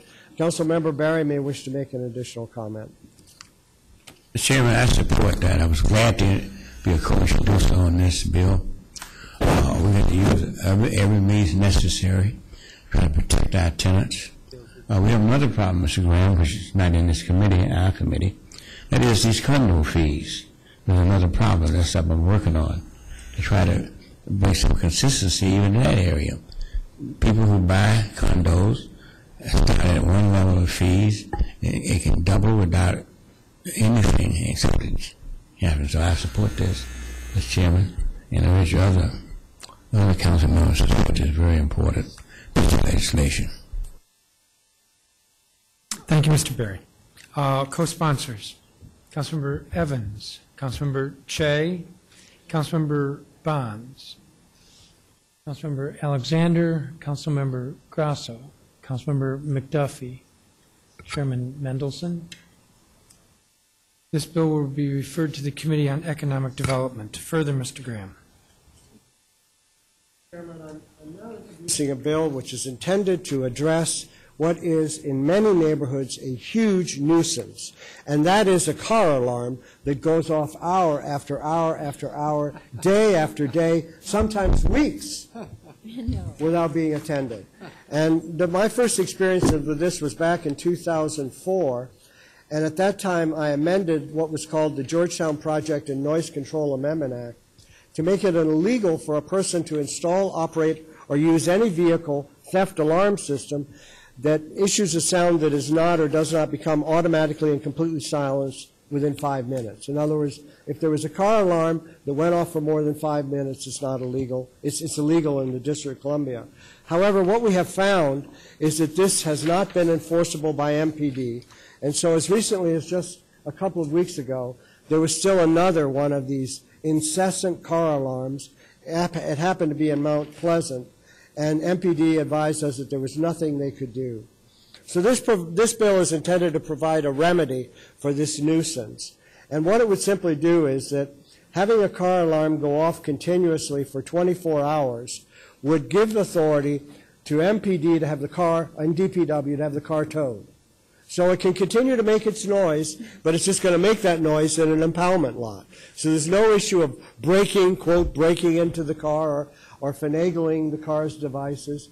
The car would just simply be pulled out of the neighborhood. And let me tell you that there would be terrific support for this in any neighborhood that has experienced these car alarms. And you know how they're set off. They're set off by another car touching the car, and that, that sets off the alarm. Sometimes the person is out of town, sometimes they don't care, sometimes they're parked four blocks away, who knows. But this would give MPD the authority it needs to silence the alarms by moving the car. And, and I think that this bill makes a lot of sense, and I hope that people will support it. Thank you. Thank you, Mr. Graham. Are there co-sponsors for this legislation? Councilmember Bowser. Councilmember Barry. Councilmember Evans. This bill will be referred to the Committee on Transportation and Environment. Further, Mr. Graham? Where, where'd you refer it? Transportation and the Environment. I think you get this one, too. Mr. Chairman, I'm now introducing the Endangered Species Protection Act of 2013. Currently, the United States Fish and Wildlife Service is the principal federal agency responsible for implementing and enforcing the United States Endangered Species Act. The federal agency regulates the import and export, as well as the interstate and foreign commerce, of any endangered or threatened wildlife, including parts or products from those species. However, over 30 jurisdictions have enacted laws that explicitly ban the sale or intent to sell products made from endangered species within their jurisdiction. The District of Columbia is not one of those jurisdictions. This bill would protect endangered species by making it illegal in the District of Columbia to transport, possess for resale, or sell any hides, skins, or other parts thereof, or any article made in whole or in part from any species of wildlife designated as an endangered species under federal law. The provision mirrors that of 30 other states. I understand that the diversity of our city invites individuals from all over the world who bring with them relics and articles that may not be banned in their country of origin. Furthermore, many of our residents have traveled to foreign countries and bring back objects that are not legally saleable within the United States. Nonetheless, it is important that this council pass a law that ensures such items, which are validly purchased outside the United States, will not be sold in the District of Columbia, and we would join the majority of states. Let me just mention that I was recently at one of our local auction houses where there was an ocelot pelt, which was for sale. And I said to the owners of the auction house, I said, you're selling an ocelot? You know, I'm sure ocelots, you know, this beautiful animal that runs so gracefully in Africa and elsewhere, surely that ocelots are protected under the Endangered Species Act. And the person said to me, well, they may be protected under the Endangered Species Act, but they're not protected in the District of Columbia. And so that was enough of a notice for me to say, we've got to protect the pelts and other animal parts of animals that are protected under federal law. Thank you. Thank you, Mr. Graham. Are there co-sponsors for this legislation? Councilmember Cheh. Councilmember Evans, Councilmember Bonds, Councilmember Grosso. This measure will be referred to the Committee on Judiciary and Public Safety.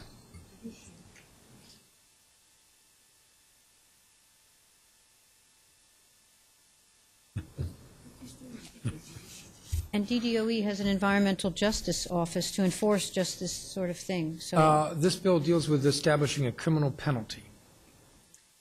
And it also does not deal with um, animals for the most part, that are living in the District of Columbia. Uh, So it would deal with, for instance, uh, ivory or pelts, and so uh, I view it as a criminal statute. If you wish, I'll take it under advisement. Well, I, I would appreciate that because the, the Department of the Environment has a, a a section that uh, uh, enforces just these kinds of laws, investigates and enforces. Um, I will, I'll take it under advisement. Um, And perhaps you could work with general counsel to uh, explain that a little further. Uh, Mr. Graham, I think those are your three bills. Thank you. Uh, Councilmember McDuffie for introductions. Thank you, Mr. Chair. Today I'm introducing the Board of Ethics and Government Accountability Amendment Act of 2013. The bill has two components. Uh, Number one, it clarifies that the Ethics Board may issue advisory opinions on its own initiative. And number two, it expands the range of penalties available to the Ethics Board to address violations of the Code of Official Conduct. With respect to the former, under current law, it is unclear that the authority of the Ethics Board to issue advisory opinions extends beyond the circumstance in which an employee or public official requests such an opinion from the board. However, it would certainly be in the public interest to allow the Ethics Board to proactively issue advisory opinions on any matter that it deems sufficient of public importance. Therefore, this bill makes explicit that the Ethics Board may issue advisory opinions upon its own initiative. The bill also addresses the Ethics Board's need for greater flexibility in the range of penalties that it may impose for a violation of the Code of Official Conduct. In addition to civil penalties and remedial action in accordance with the Merit Personnel Act already contemplated by the title, the bill would allow the Ethics Board to assess the following additional penalties: a public censure, a non-public informal admonition, a period of probation, and a negotiated disposition. A broader range to penalties will allow the board to dispose of some of the more de minimis violations of the code, such as a one-time minor misuse of government property. Would also provide the board with the necessary tools to secure cooperating witnesses in an investigation, giving it the flexibility and leverage it needs to carry out its important mission. At this point, I would invite co-sponsorship of this measure.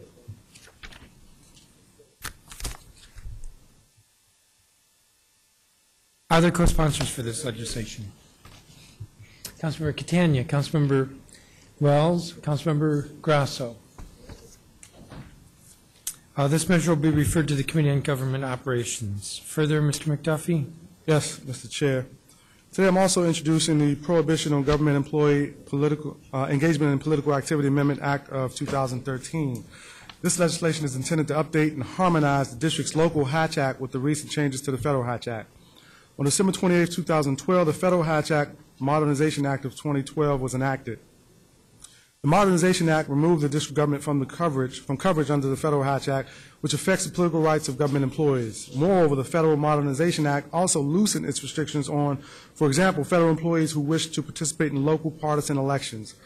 Additionally, the Federal Modernization Act also increased the range of penalties available to be meted out for violation of the Act, moving away from a stringent standard of termination for violations of the Act, and give it the Merit Systems Protection Board more flexibility in fashioning penalties that match the severity of the violation. To illustrate the problem, now that the Modernization Act has been enacted, a district resident who works for the federal government can now fully participate in a local partisan election. But a district resident who is a district government employee cannot fully participate in a federal election. I should also note that currently our Hatch Act laws are the most restrictive in the region. For example, Virginia and Maryland largely allow their state employees to participate in political activity, and there's no prohibition on employees participating in federal campaigns in either state. Also, a Virginia or Maryland government employee could fully participate in a district ele- election, but the district government employee cannot fully participate in a Maryland or Virginia partisan election. That type of counterintuitive restriction is what this legislation aims to correct. Thanks in large part to our General Counsel, we have identified several simple changes that can be made to our local Hatch Act to harmonize our laws with the new federal restrictions. The legislation would add definitions, clarify that the Board of Ethics and Government Accountability shall enforce its provisions, address non-district elections, and provide enforcement of the Act through the Code of Conduct. These common sense changes to the district's restrictions will clarify the law so that district employees can actually understand what is prohibited. Additionally, the legislation would be retroactive to January 28, 2012 to ensure continuity with the recent changes in the Federal Hatch Act. With that, I would ask my colleagues for any co-sponsorship. Are there co-sponsors for this legislation? Councilmember Alexander, Councilmember Grosso, Councilmember Wells, Councilmember Cheh, Councilmember Bowser, Councilmember Bonds. This measure will be referred to the Committee on Government Operations. Further, Mr. McDuffie? Nothing further, Mr. Chair.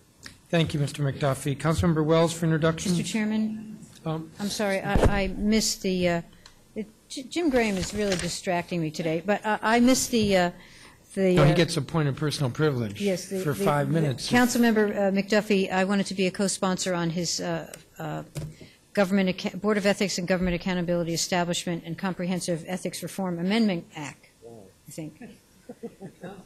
Uh, In other words, because I think you just co-sponsored the last one, so you want to be a co-sponsor on both of Mr. Yes, McDuffie's bills? please. All right. Thank you. Stop distracting. Mr. Wells for introductions. Yes, thank you, Mr. Chair. Today, along with my colleagues, Councilmember Cheh, Councilmember Catania, Councilmembers Evans, Graham, and Barry, I'm introducing the Marriage Officiant Amendment Act of 2013. This bill, which is modeled after successful laws in Massachusetts and Vermont, would establish a mechanism by which the Superior Court of the District of- Columbia can establish the authority of a temporary officiant to perform marriage ceremonies. You may recall that a similar bill was introduced by two previous council periods. Those proposals had a very similar goal in mind, but used the mechanism of a notary public to be the officiant. This bill would instead authorize an individual, chosen by the couple, to perform that role with the authority limited to a single day and that single marriage. I'd like to yield the- my remaining time to my co-introducers. Through you, Mr. Chair, I'd like to yield first to Councilmember Cheh, who's been a strong advocate for change in this area. I'd like to speak. Thank you, uh, Councilmember Wells. Um, As the author of the Marriage Officiant Act of 2010 and the Marriage Officiant Act of 2011, I'm pleased uh, to join you today in reintroducing this important legislation, which actually has uh, improvements. Um, Currently, only two groups of people can officiate a marriage ceremony in the district, a religious official or a judge or court clerk. That means in order to be legally married in the district, you either have to go to a minister or to a court.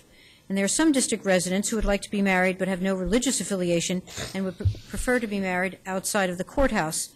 Many states have expanded the set of people who can officiate marriages and found that this has not caused any problems and has given people an opportunity to have their marriage performed by, by others than the court and a religious entity. And this uh, bill is an important step in support of equal rights for all residents. And again, I thank Councilmember Wells for his leadership on the issue, and I hope we can have a hearing and move this forward swiftly. Thank you. Uh, Further, in a minute left by co- co-introducers. I'd like to speak to Councilmember it. Evans? Yes, no, I'm very pleased to uh, have this legislation uh, because I've actually uh, performed a marriage ceremony. I don't know if anybody else in the dais has ever done that. But um, if you, you- the way to, go- it was invalid, huh? Okay. Mr. Chairman, could I comment? No, if you can actually, if you have a judge in the room with you. Up your time. uh, Sitting in the back who signs the papers, you can actually do that. But it causes, it's a lot of effort to do that. So this, uh, I think, uh, eliminates that uh, necessity of uh, doing that. And it, it really is uh, an opportunity. I, I, I don't know if others have had, uh, many people have asked me to perform these ceremonies, and uh, in the past, it's just been uh, uh, hard to do because you have to get a judge to actually come to the ceremony. So uh, I think this is a real step in the direction of uh, enabling individuals who want to have uh, someone to perform the ceremony who's not a uh, member of the, uh, of the bar or a religious person. So I'm pleased to move forward with this. Thank you. Mr. Chairman, could I have a few, few seconds? Uh, Well, the three minutes are expired. If there's no objection, give me, give me a couple of seconds, yes. Uh, Mr. Chairman, I uh, want to enthusiastically join in the, in the uh, introducing and even supporter of this amendment. Uh, For some time, the members of the council wanted to perform these duties, couldn't do it, and so I wholeheartedly support it. Thank you, Mr. Chairman. Thank you, Mr. Barry. Are there co-sponsors? And Mr. Chair, let me also add that I believe that Mr. Grosso is a co-introducer of this bill, and I don't see, and so he needs to be added as a co-introducer. Uh, or- Well, he'll Thank you, to, Mr. Chair. he'll have to talk to uh, Councilmember, um, Wells. Councilmember Wells, yes, to recirculate it. Thank you, Councilman. Uh, Let's see, I was asking for co-sponsors. Are there co-sponsors on this bill? This measure will be referred to the Committee on Judiciary and Public Safety. Further, Mr. Wells? Yes, thank you, Mr. Chair. Today, I'm, I'm introducing with Councilmembers Grosso, Cheh, and Graham the, introducing the Coal-Fired Prohibition Act of 2013. This bill would ban the use of coal as a use, as a fuel source for power generation in the District of Columbia. The action is necessary to protect district residents from harmful emissions resulting from coal burning in the heart of an urban residential neighborhood.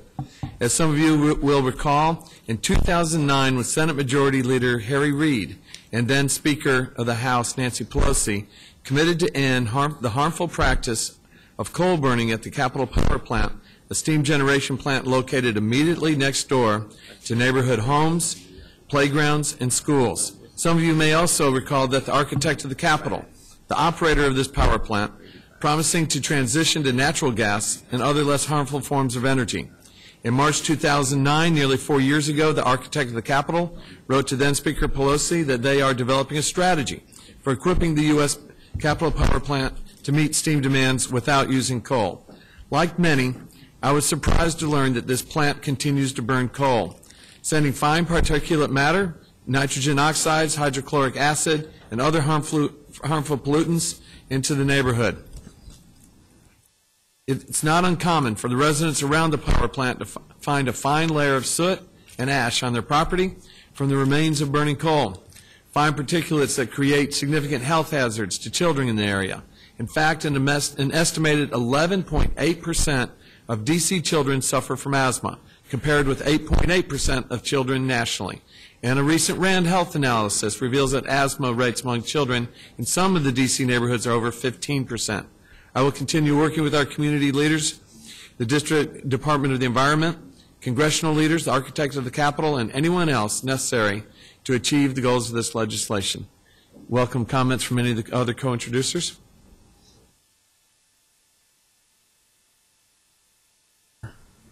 Other co-sponsors? Uh, uh, I welcome comments from any co- co-introducers, that. Chair. Nobody, nobody spoke up. I'm asking for co-sponsors. No, no, okay. Thank you. Um, Should be, though. List, uh, list me as a co-sponsor. Uh, this, Mr. Barry, Uh, As a co-introducer, uh, you're not this- listed as a uh, co-introducer. very important piece of legislation, and I want to commend Councilmember Wells for taking leadership on this, because this power plant is in his ward, but also it affects the citizens outside of that ward. Anybody who parks over there, uh, will be getting this ash, and since I'm a scientist, I better understand it than most, so thank you, Mr. Chairman. And for the official record, um, Mr. Barry is a co-introducer, Mr. Chair. Thank you very much. If that's okay with the chief uh, sponsor, chief introducer of the bill. Absolutely. You'll have to recirculate it with his signatures. Mr. All right, Wells This bill will be okay. referred to the Committee on Government Operations with comments from the Committee on Transportation and the Environment. Uh, Mr. Wells, is that your three bills? No, there were two bills, but that's all I have today. Thank you, Mr. Chair. Uh, Thank you, that's what I said, Are those your two bills. Um, Mr. Grosso for introductions? Thank you, Chairman.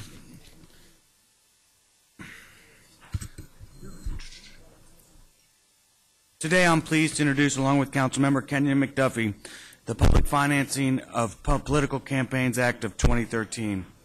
The intent of this bill is to seek to hear all the voices in our democracy, to level the playing field for candidates, and to return the attention of lawmakers to the work at hand as opposed to the riding a treadmill of fundraising activity in order to survive in public service. I'm asking that the D.C. Council step up like Maine, Connecticut, Arizona, and North Carolina and pass a law that embraces citizens-funded elections. Support for candidates in the District of Columbia generally comes from three sources.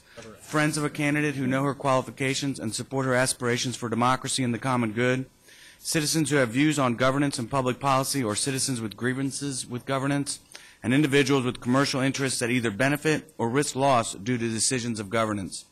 All of these sources are appropriate in, functioning, in a functioning democracy.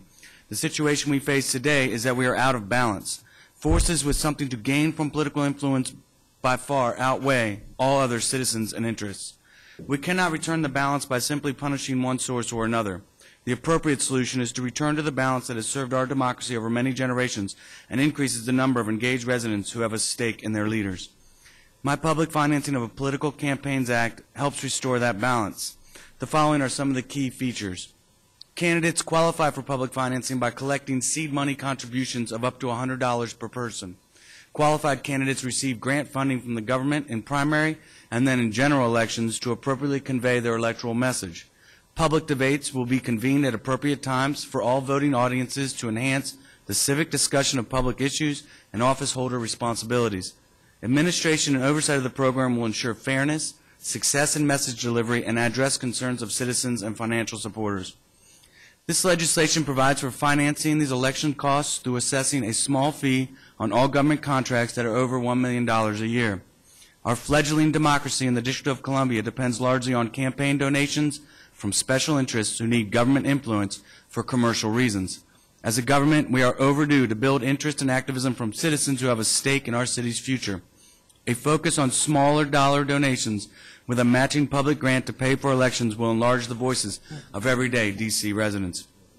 Thank you for considering this legislation. I hope that all of my colleagues will stand up for publicly funded elections and co-sponsor this legislation. And I'd like to yield the remainder of my time to uh, my co-introducer, Councilmember McDuffie. Mr. McDuffie. Thank you, Mr. Chair, and uh, thank you, Councilmember Grosso, uh, for your leadership around this issue. Uh, Public financing is a very important issue. It's not a novel issue. Obviously, it's done uh, on the federal side. It's done in other jurisdictions, including New York and San Francisco. And so, given the priority uh, of uh, campaign finance reform in this city, uh, I look forward to, along with my colleagues on the Committee on Government Operations, of handling hearings. I'm really inviting the public's input uh, on this, as it will uh, fundamentally, I think, change the landscape of how we finance campaigns. And so I'm excited about it and look forward to a, a hearty public debate on the issue. Thank you, Mr. McDuffie. Mr. Grosso, uh, co-sponsors of this legislation, Mr. Graham, Councilmember Cheh, Councilmember Bonds, Councilmember Catania, Chairman Mendelson. This bill will be referred to the Committee on Government Operations. I would, I'd like to be a co-sponsor, Chairman Councilmember Mendelson. Wells as a Yeah. co-sponsor. Councilmember Barry as a co-sponsor. Further, Mr. Grosso? No, that's all I have. Thanks. Thank you. Uh, Councilmember Bowser for introductions. Thank you. Thank you, Mr. Chairman. Um, Mr. Chairman, today I'm introducing uh, with my colleague, uh, Councilmember McDuffie, the Special Purpose Revenue Fund for Special Elections. Um, in April 2011, as you know, Mr. Chairman, we held a special election um, to fill the seat uh, vacated by Kwame Brown, the at-large council seat. About a year later, in 2012, uh, we conducted another special election to fill the Ward 5 council seat. Um, and this year, uh, we will conduct yet another special election to, to fill um, your at-large council seat, Mr. Mendelson. So in one year and a half, um, our Board of Elections has conducted three special elections. Um, historically, special elections have occurred at a rate not so frequent not so frequent, but by no means um, is it uncommon for us to have special elections. I did a quick count, um, and of the member, just of the current members of the council, at least I think um, eight of us um, were elected in a special election. And since 1994, there have been 11 special elections, about one every other year. Um, so not all of these uh, elections have been unforeseen, um, and we were better able to budget for them. Uh, and as was the case uh, last year, the funds to fund the special election in Ward 5 did not uh, become available until right before the election, which caused a lot of angst for the Board of Elections. Um, um, were angst among the candidates and certainly the residents of Ward 5.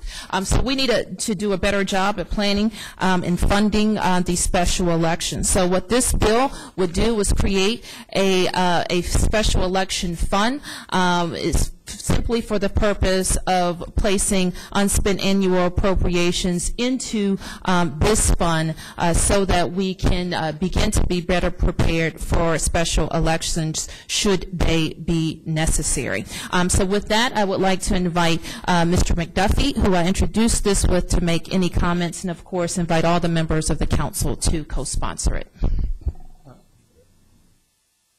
Um, Co, uh, Mr. McDuffie? Thank you, uh, Mr. Chair, and thank you, Councilmember Bowser, for introducing this important measure. Uh, As you uh, uh, articulated, this is uh, important to make sure that the Board of Elections and the city is prepared in the event that we have special elections. A number of us sit here on the dais today as a result of winning special elections, and and as we look towards April of this year, when we're going to have another special election, it's important to make sure we have funding to adequately allow BOE to do its job. So again, I thank you for uh, introducing this measure. Thank you, Mr. McDuffie. Uh, Co-sponsors for this legislation, Councilmember Cheh. Councilmember Alexander. This bill will be, will, Councilmember, Councilmember Barry. Thank you. Uh, This bill will be referred to the Committee on Government Operations. Further, Councilmember Bowser? Thank you, Mr. Chairman. Uh, Mr. Chairman, today I'm introducing the Video Visitation Modification Act of 2013, along with Councilmember Barry, Councilmember Jim Graham, and Councilmember Evans. Last July, the D.C. Department of Corrections instituted a change in visitation at the D.C. jail, which barred in-person visitation and instituted a video visitation-only policy. The Department of Corrections action meant that the detainees' only option to visit with their family members was via a video screen, with the visitor seated at the D.C. jail's Video Visitation Center. The justification for the video-only um, visitation is that it saved some money, but the harm done cannot be measured in dollars and cents. The Department of Corrections' decision to eliminate in-person visits deprives detainees and their families of meaningful visitation in favor of the impersonal virtual visitation, a poor substitute for many families. And there are significant benefits, we believe, to in-person visitation, uh, which the department uh, does not pay enough deference to. In-person visits provide the obvious benefit of strengthening family ties in times that can threaten those bonds, and they do much to prefer, to preserve the inmates' morale. Studies have shown that strengthening family ties assist in detainee rehabilitation and reintegration uh, to society. Uh, we know uh, that there's a lot we must do to reintegrate our returning citizens into our communities so that they can be productive members of their families um, and of their neighborhoods. There's much that we have to do, um, and I believe that this is one um, important step. So for these reasons, I'm introducing the video vis- visitation uh, Modification Act of 2013, along with Councilmember Barry, who had a measure before the council um, in the last session that also addressed this issue, um, and with Mr. Graham and Mr. Evans. Uh, But, uh, Mr. Chairman, I would like to invite, uh, and uh, would like to invite Mr. uh, Barry or the co-introducers to comment. In the 50 seconds remaining, Thank you very much, Mr. Chairman. Mr. Barry. Uh, I enthusiastically support uh, this uh, version of the bill.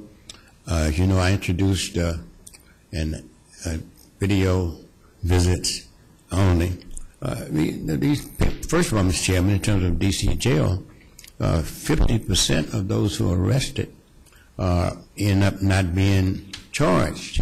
And so therefore, you're depriving at least 50% of the people uh, the opportunity. But I'm going to tell you, Mr. Chairman, it's a lonely feeling not to be able to talk to your loved ones or your friends, et cetera. And so, Mrs. Bowser, I welcome this option, and I hope we can get hearings right away, uh, Mr. Mr. Mr. Well, and get it done because it's uh, not very good public policy. Thank you. Chairman. Thank you, Mr. Barry. Are there co-sponsors for this legislation? Councilmember Orange, Councilmember Cheh, Councilmember Bonds, Councilmember Wells. Uh, This bill will be referred to the Committee on Judiciary and Public Safety. Further, Councilmember Bowser? Thank you, Mr. Chairman. That's it. Thank you. Uh, Councilmember Alexander for introductions. Uh, Thank you, Mr. Chairman. Excuse me. Um, I'm introducing the cardiopulmonary resuscitation and automatic external defibrillator, which I'll refer to as AED, uh, Requirements Amendment Act of 2013. I'm pleased to be joined by council members Graham, Evans, and Barry as co-introducers. Uh, every year, as many as 450,000 people in the U.S. die from sudden cardiac arrest, and between 7 to 10,000 of them are children. The key to their survival is quick and proper treatment. Survival is literally a matter of seconds. All 50 states have enacted laws or regulations requiring AEDs in public places.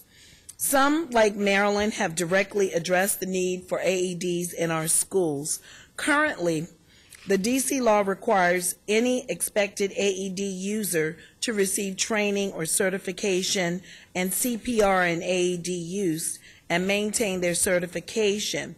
An AED program has also been mandated by law for our parks and recreation facilities. The bill that I'm introducing today would require the mayor to develop and implement a CPR and AED program for the District of Columbia ele- elementary and secondary schools.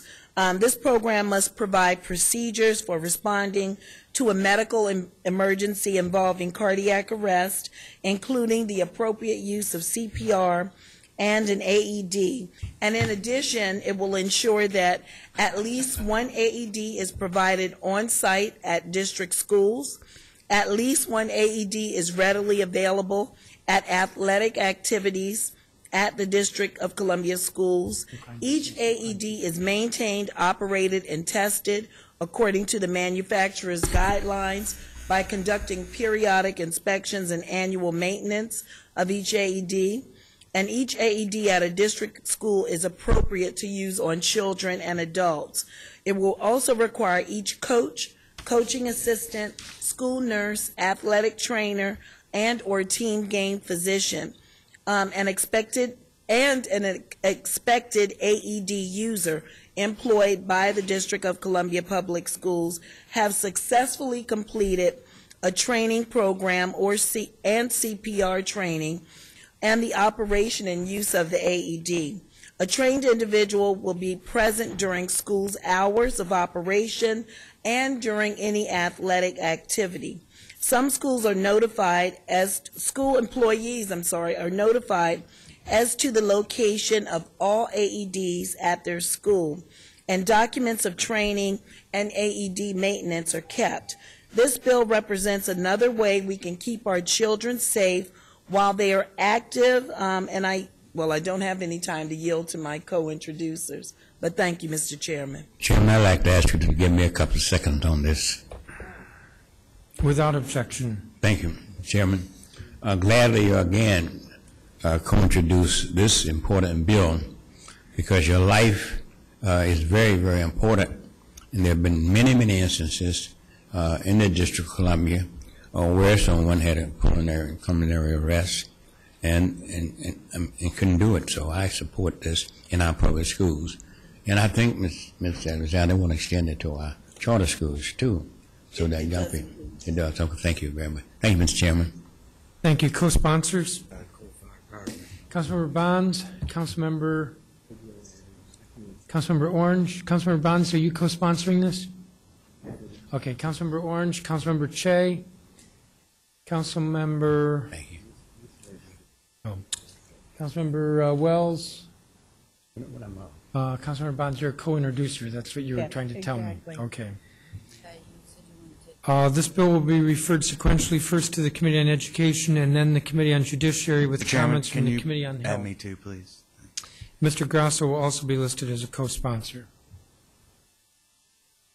Uh, Further, Councilmember Alexander? Uh, Yes, Mr. Chairman, along with council members Evans and Barry, I'm introducing the Income-Based Home Ownership Tax Abatement Amendment Act of 2013. Currently, the Office of Tax and Revenue offers a five-year real property tax exemption for qualified first-time home buyers through the Lower Income Home Ownership Exemption Program. This program was established to create an incentive for first-time buyers to purchase a home here in our city as opposed to neighboring jurisdictions.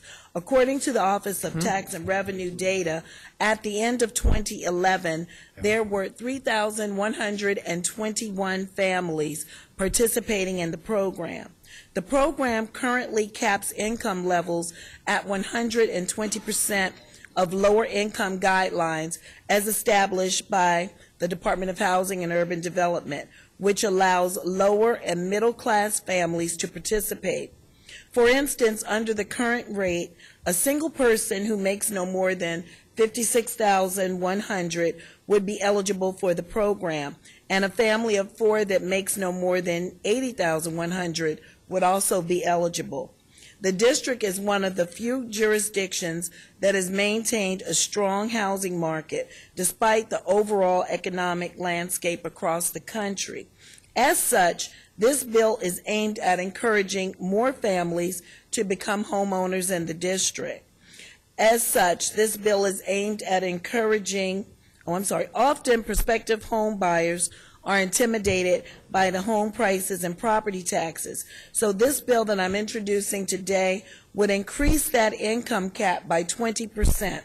So now a single person who makes no more than $65,450 and a family of four making no more than 93,450 would qualify for this program.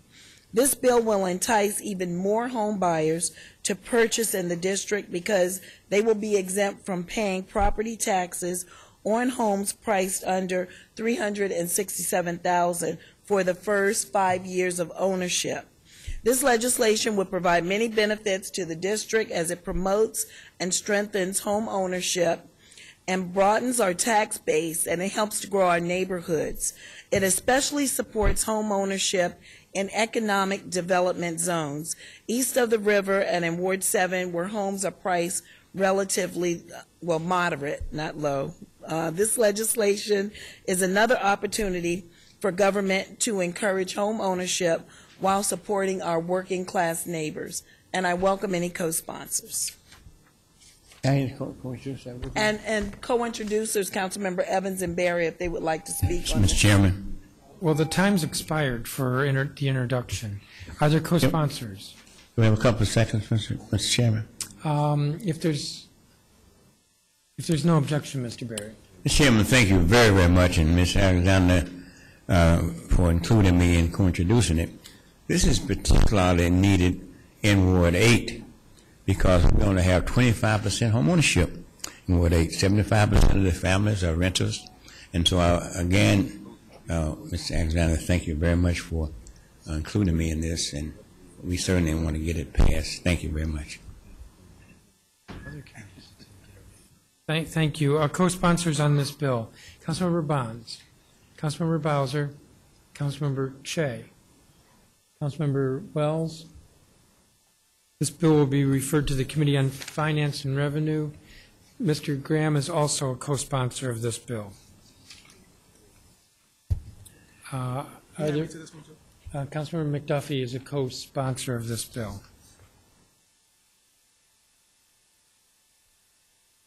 Um, I believe that's your three bills, Councilmember No, my last one coming up. Councilmember Alexander. Yeah, this is the last introduction, along with council members Evans, McDuffie, Cheh, and Barry. Uh, The Social Impact Financing Amendment Act of 2013. Social impact bonds are sometimes referred to as pay-for-success bonds or social benefit bonds, and they're an innovative financing tool that can be used by the district government to better to better stewards of taxpayer dollars as we continue to work to improve social outcomes in our residents and communities. Social impact bonds are contracts made between the government and a private sector or nonprofit organization in which the non-government entity is tasked with improving specific social outcomes. Most often, social impact bonds are used to combat issues related to health, education, recidivism, and unemployment. The difference in social impact bonds and typical contracts to, com- to combat these issues is that the non-government entity is not entitled to payment from the government until a specific predetermined set of measurable outcomes have been met. For instance, if an organization enters into a social impact bond and agrees to help reduce the occurrences of recidivism in minors by 10% over a predetermined number of period of time, the organization would not be entitled to payment from the district until an objective, independent evaluator determines that the qualitative performance targets have been achieved as agreed upon. The non-government entity is financed by an outside investor and can only be repaid if the organization meets specific targets triggering payment by the government. This bill allows the Office of Contracts and Procurement, the appropriate agency, the option um, to use the social impact bonds as an efficient tool when issuing RFPs and entering into contracts at, with service providers for all kind of human care and social services such as fighting obesity, chronic home- homelessness, child asthma rates, truancy, drug prevention, and, and so on. Far too often, the, the district has paid various organizations thousands, even millions of dollars to help address various societal ills, and we've received little to no return on our investment. So this will be a tool uh, to, to use that will encourage people to be accountable when we get, you know, when they receive all of this government funding. And I have eight seconds, so Councilmember Barry, if you would like to add something to this? Chairman, I won't uh, exceed the time now. I would just associate myself with those great remarks from our distinguished council member from Ward 7. Thank you, thank you, Mr. Barry. Um, Co-sponsors. Councilmember Bonds, Councilmember Bowser, Councilmember Graham, Councilmember Grosso. This bill will be referred to the Committee of the Whole. Mr. Chairman, Mr. Graham. once again, I mean, this, this impacts the agencies within the Committee on Human Services. So I'd like you to consider a referral to, to the Committee on Human Services. Um, Well, it amends the Procurement Practices Reform Act. Oh, And uh, it says uh, on page two, notwithstanding any other provision of this chapter, the CPO, that's the Chief Procurement Officer, may award a social impact bond contract if, and then it goes on. And uh, Office of Contracting and Procurement is under the Committee of the Whole this council period. That's the reason why. So the referral will be with the Committee of the Whole. Thank, thank you, Mr. Graham. Anything further with regard to introductions? Then we will proceed to the uh, consent agenda. We already approved item 7A, which was the ceremonial resolutions. 7D, uh, which is the Board of Zoning Adjustment, Catherine Allen was removed from the consent agenda during consideration in the Committee of the Whole. So what is before us now is 7E at the bottom of page 2 through 7G at the top of page 4. Are there any changes to the consent agenda? Chairman. Chairman? Mr. Barry? Chairman, I'd like to uh, take E1, Congressional, the uh, Workforce Job Development Grant Making Authority, Congressional Review Emergency Declaration of 2013. I certainly support it, but I wanted to have an opportunity to speak to it at the proper time. Uh, Thank you. Uh, I heard another voice. Mr. Chairman, Councilmember Alexander. um, if you would remove on page three, F1, the Medical Marijuana Cultivation Center temporary amendment. Uh-huh. Uh, Further?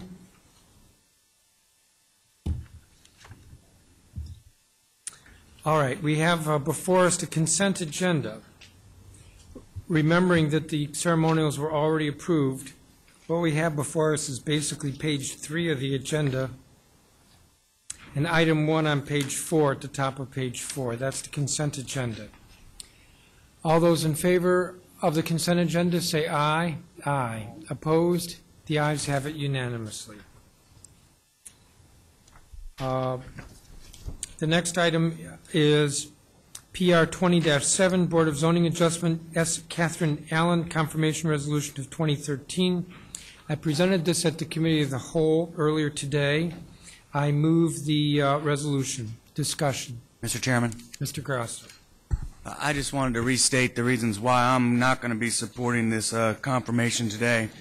Uh, You know, uh, for me, I think it's very important that we take a close look at every single nomination and when it impacts the Board of Zoning Adjustment, which has a profound impact on the way that our city kind of evolves over the next several years, I think it's important for us to be very careful who we put on these uh, various boards and commissions.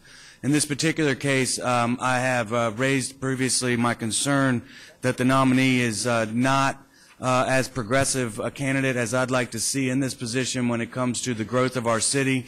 Um, and as a result, I'm just uh, here to, to let you know that I'm going to be voting against this nomination. Thank you. Thank you, Mr. Grosso. Further discussion? All those in favor of... Mr. Chairman, P- uh, Mr. Chairman, Councilmember Bowser? Mr. Chairman, uh, I just want to restate, um, and I had the opportunity to make these comments in the, in the committee of the whole, but I think it's uh, worth repeating um, here. Uh, I had the opportunity to, to have reviewed a number of BZA applicants over my five years on the council, and again to um, to speak with Ms. Allen, um, and I just found her her level of expertise to be exceptional, um, and her understanding of uh, our neighborhoods to be equally exceptional. Um, and so we know that the, the folks that we appoint to these boards um, have very important responsibilities to, to balance um, our development and, and property owners' uh, needs, as well as the, the needs of, uh, of our of neighborhoods in our growing city. Um, so I am I am extremely confident um, in Ms. Allen's ability to do exactly that, and I'm going to be voting for her today. Mr. Chairman? Mr. McDuffie? I'm sorry, Mr. Orange? Yes. Uh, Mr. Chairman, I'm, I rise to uh, ditto the comments of uh, the councilwoman from Ward 4, Muriel Bowser. I've had the opportunity to know um, Ms. Catherine Allen for at least a, a decade uh, when she was the banking commissioner, and she did an extremely uh, uh, outstanding job uh, during that time of service. And then I was really um, really impressed with her when she started her own company. I believe it's Answer Title Company. And she's been involved with that for a, a number of years. And throughout her time that I've known her, I've not heard anything um, uh, adverse to her abilities and to her commitment to the city. So I wholeheartedly will be supporting uh, her confirmation, and I ask my colleagues to support her as well. Thank you, Mr. Orange. Uh, If there's no further discussion, the uh, vote is on PR 20-7. All those in favor say aye. Aye. Opposed? Uh, no, please record me as no too. Thank you. All right, the vote, um, the motion passes with Mr. Grosso voting no. Uh, Next is um, work for, uh, item E1 on bottom of page two, Workforce Job Development Grant Making Authority Congressional Review Emergency Declaration Resolution of 2013. On the declaration, Mr. Barry. Thank you, Mr. Chairman. I'd like to move the Workforce Job Development Grant-Making Authority Congressional Review Act of 2013. There exists a need to improve the grant-making process. As you know, Mr. Chairman, I'm chair of the uh, committee which has the Department of Employment Services on it. Thank you for that. And we want to try to develop a process for training other services for unemployed district residents. You may already be aware of the permanent legislation, B19-619, has already been approved by the council on second reading on December 18, 2012. The temporary has expired and the permanent is awaiting congressional review and is not expected to become law until sometime in April of next year. Thus, in order to prevent a gap in the legal authority, this emergency has been put forward. We do all we can to make the grant-making process smoother, because uh, right now it's not as smooth as it ought to be. And while we delay on it in grant-making, people are suffering because of unemployment. So, Mr. Chairman, I urge your support and the members of the council on this very important emergency. Thank you, Mr. Barry. Uh, Further discussion on the declaration. All those in favor of the declaration say aye. Aye. Opposed? The ayes have it unanimously. On the emergency act, Mr. Barry. I move the, move the act, Mr. Chairman. Discussion. All those in favor of the, this is the Workforce Job Development Grant Making Authority Congressional Review Emergency Act of 2013. All those in favor say aye. Aye. Opposed? The ayes have it unanimously. Um, On page three at the bottom, F1, um, Medical Marijuana Cultivation Center Temporary Amendment Act of 2013, Bill 20-18. This is the final vote on this temporary bill. Councilmember Alexander? Uh, Thank you, Mr. Chairman. The underlying uh, temporary bill on second reading prohibits cultivation centers from being located in retail priority areas and applied only to those applications that were pending as of April 7, 2012. This amendment would grant those pending applicants an additional 180 days from the effective date of this temporary to find an alternate location uh, and to amend the applications without harm. So I would appreciate my colleagues' support, and so move, Mr. Chairman. Uh, We have an amendment before us. Mr. If Chairman.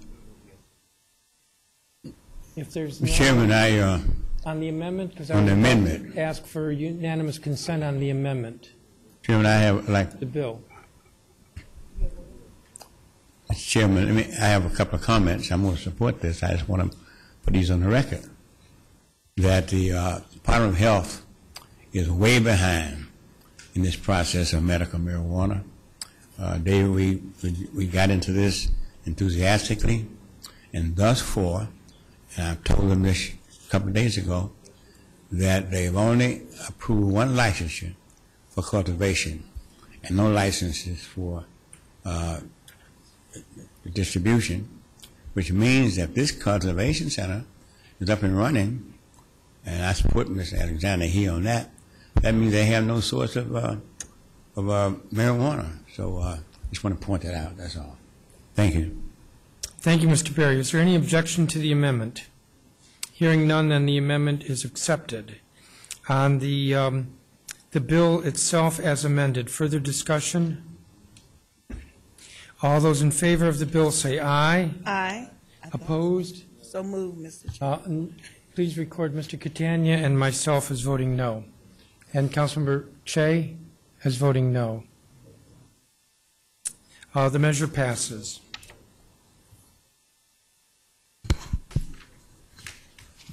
The uh, next item on the agenda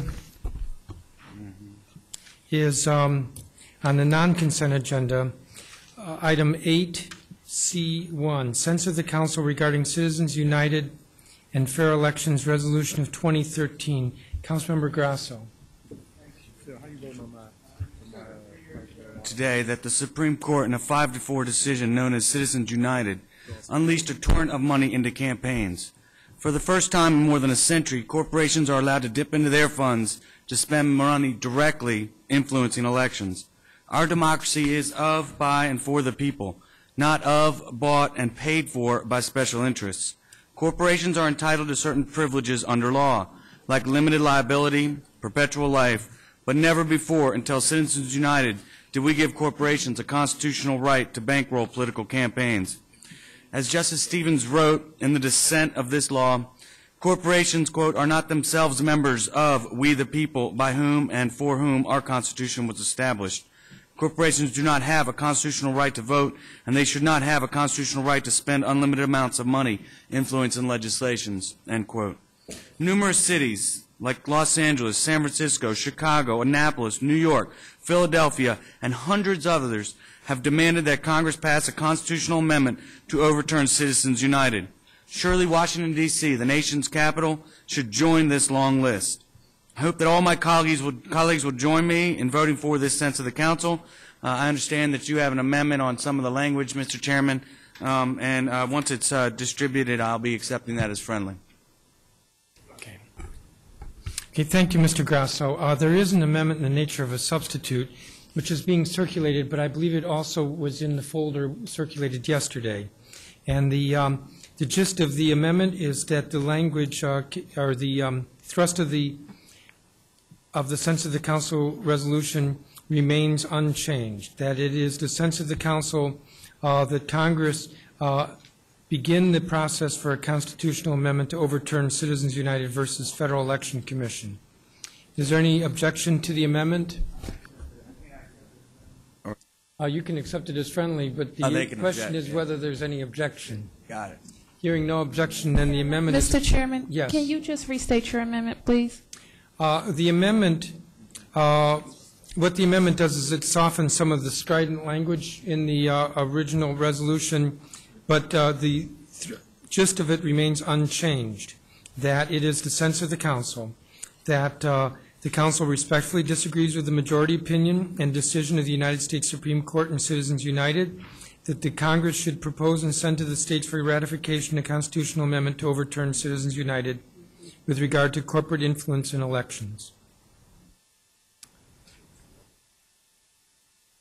If there's no objection, the amendment is accepted. The motion before us is the uh, resolution as amended. Further discussion?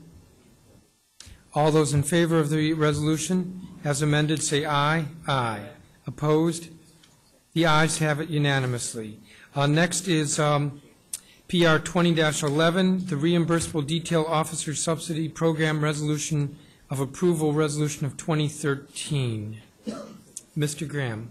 Th- Thank you very much. Uh, I'm moving this resolution today on behalf of the Committee on Human Services. Uh, This resolution was introduced on November the 6th by uh, you, Chairman Mendelson, at the request of the mayor. The bill was referred to our committee. I held a public roundtable on January the 24th, at which the Director of the Alcoholic Beverage Regulation Administration testified in support of the proposed rule. Uh, There were no other witnesses and no other testimony was submitted.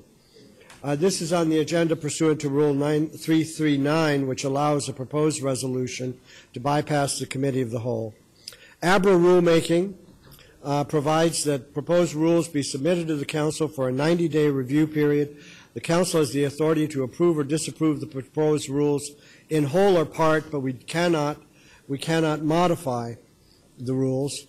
Uh, It would be deemed disapproved, however, on February the 14th, uh, unless the council acts.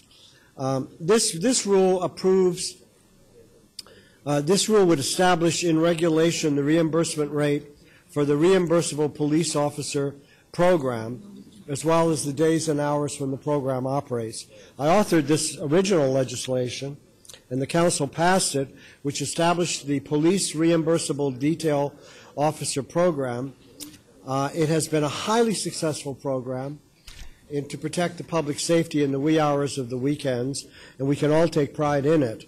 Um, They are off-duty police officers who help maintain peace, order, and quiet and safety outside of nightlife establishments on the weekends. The program is run by the Metropolitan Police Department, the nightlife establishment, and in some cases, a group of businesses through a business improvement district pay 50% of the cost of this, these police services. But the remaining 50% is a subsidy by the DC taxpayer, which is, to my mind, money very well spent. Recently, as a result of a spending pressure, for a brief period of time, the rate was dropped to 25%. But now we have adequate funding, and we've had adequate funding to return it to a 50% subsidy in FY12. Um, This, this rate is now going to be established by the rulemaking, and the hours are extended until 5 a.m. in line with the new hours a few days a year that allows certain bars to open until 4 a.m. So I think this is a very good rule, and we should proceed to approve it, Mr. Chairman. So moved.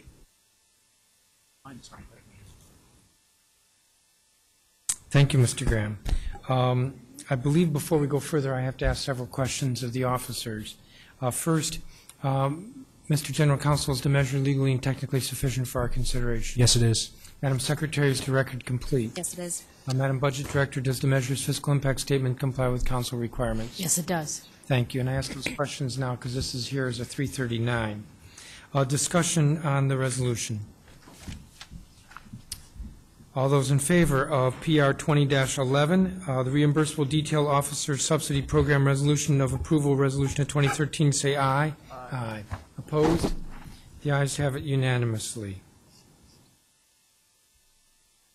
Next item is Visitability Requirements Temporary Amendment Act of 2012, Bill 19-1097. It's before us as a final reading on this temporary bill.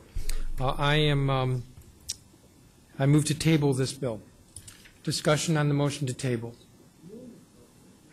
All those in favor, yeah, Mr. Orange?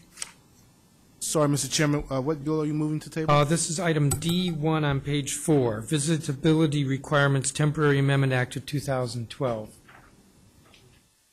Table's not discussed. He's asking where, where we are.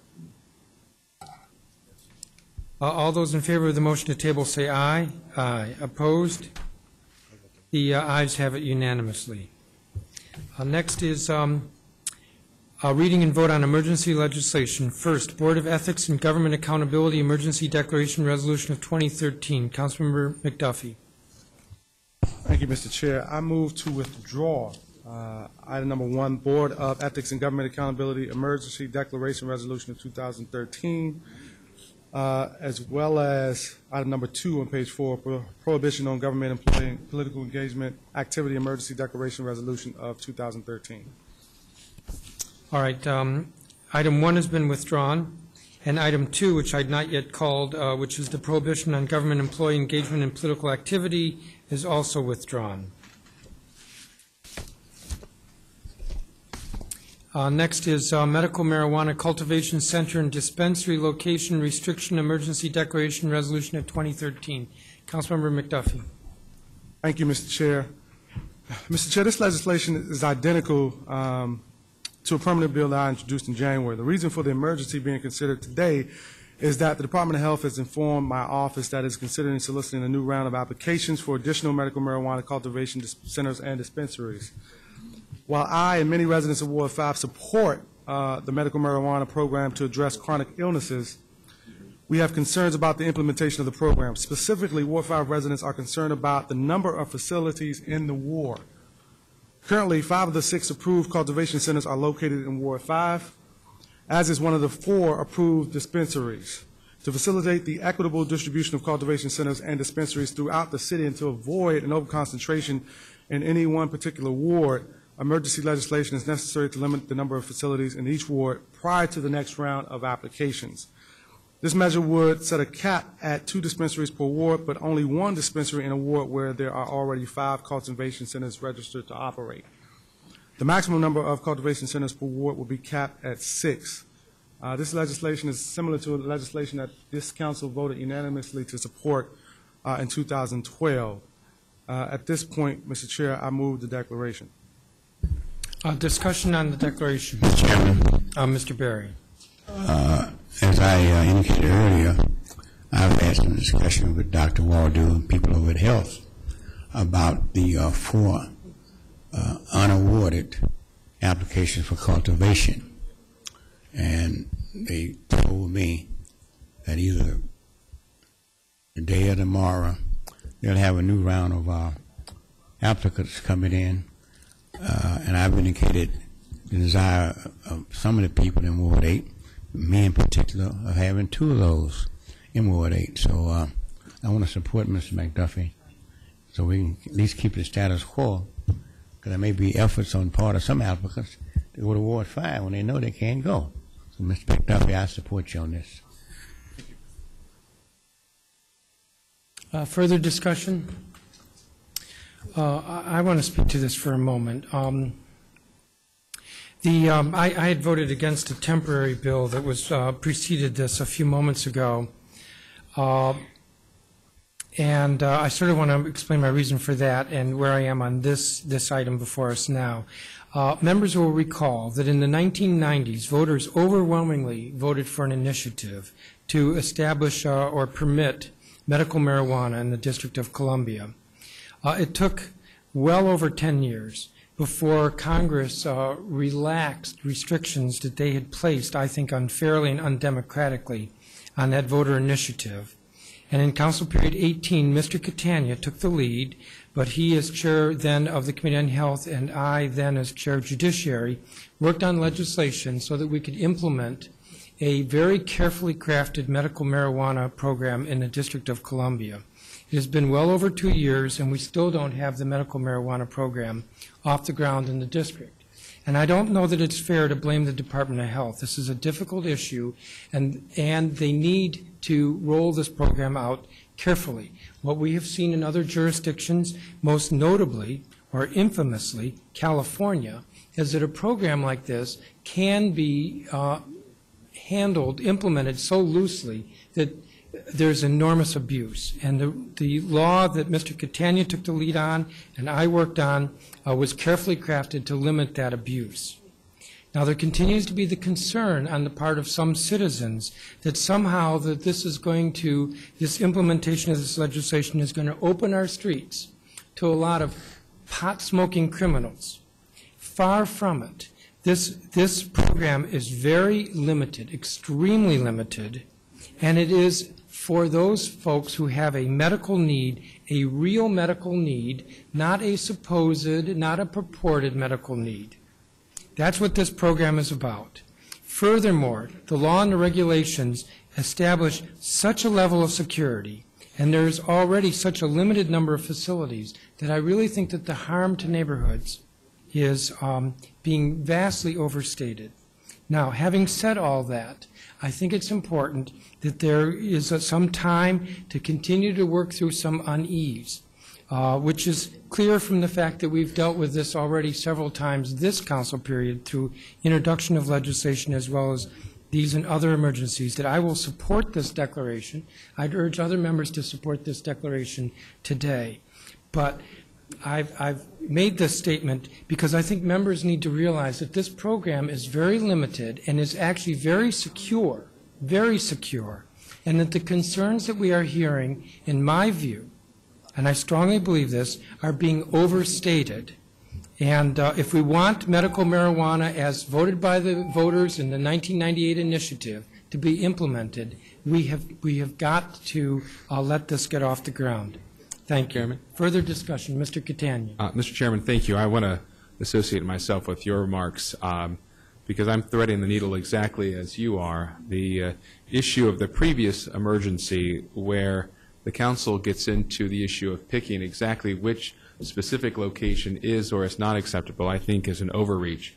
Uh, As you mentioned, when the council considered the, the bill that ultimately uh, made medical marijuana legal in the district, we were very careful to balance community concerns, uh, insert ANC concerns, and uh, an opportunity to comment, and to have what, what I believe to be a, a very secure but very balanced um, and humane uh, reaction uh, to this issue.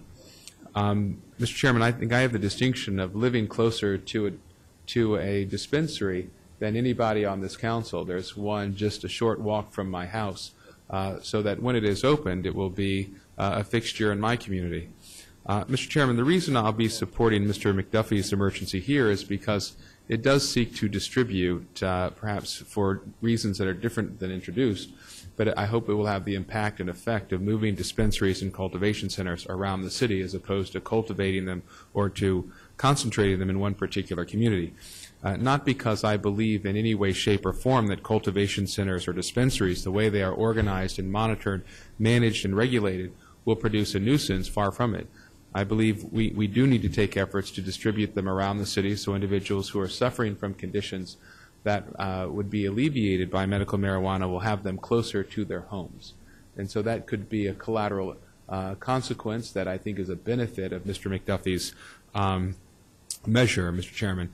But I want to underscore that I reject the notion that a, a dispensary or a cultivation center, the way they are managed and regulated uh, under this regime, will pr- produce a nuisance to a community. It, they will not.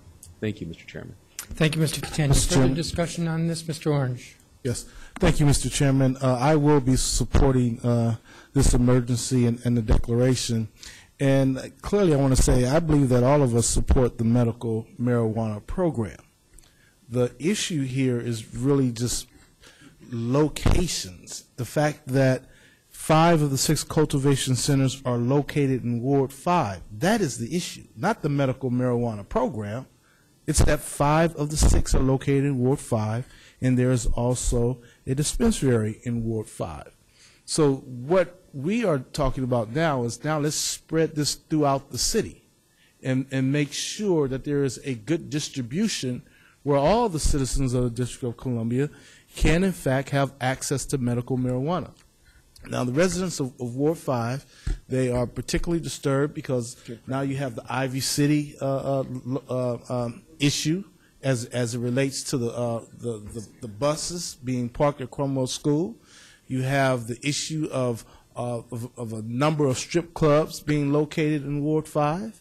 Now you have the five cultivation centers, and according to uh, Councilmember Mc- McDuffie, he has received communications from uh, Department of Health that there will be another round.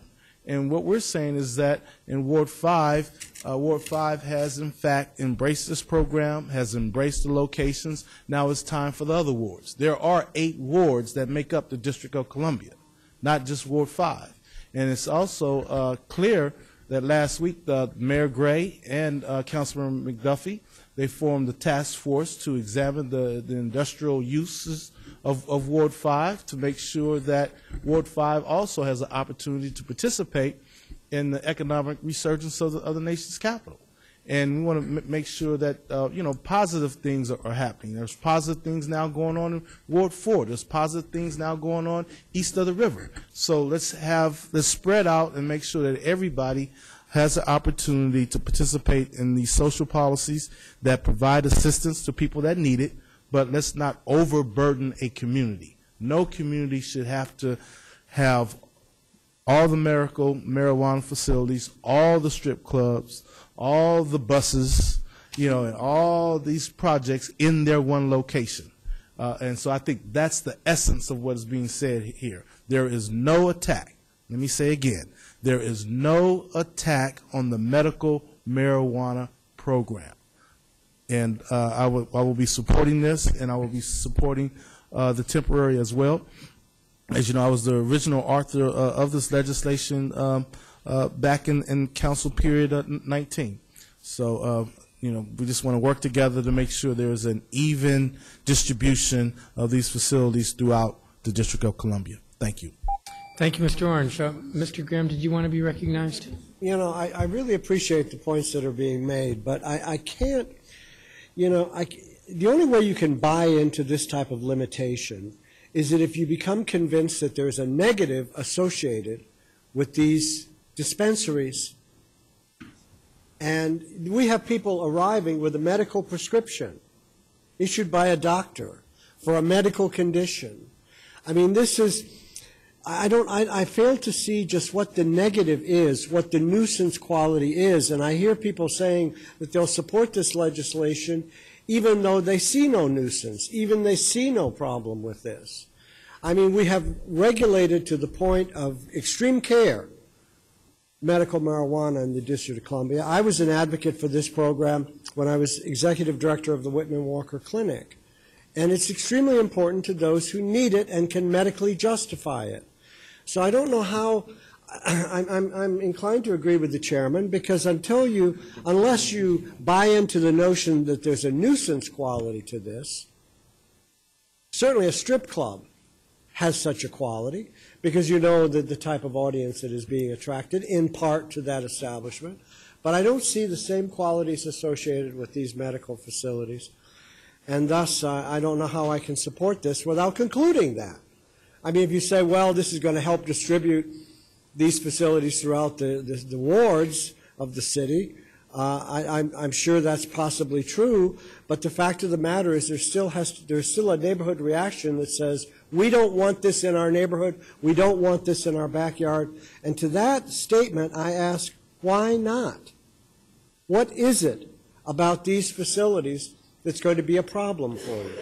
And once you get to that level of questioning, you find out that, well, people with a medical prescription to just to satisfy a medical need, in this particular instance, don't carry that type of nuisance problem with them. So I'm afraid I'm not going to be able to support this, Mr. Chairman. Thank you, Mr. Graham. Further discussion? Uh, Mr. Orange, second round. Yes. Well, I, I think I would just say that, you know, you don't have five CVSs located in the same location. You don't have five Safeways in the same location.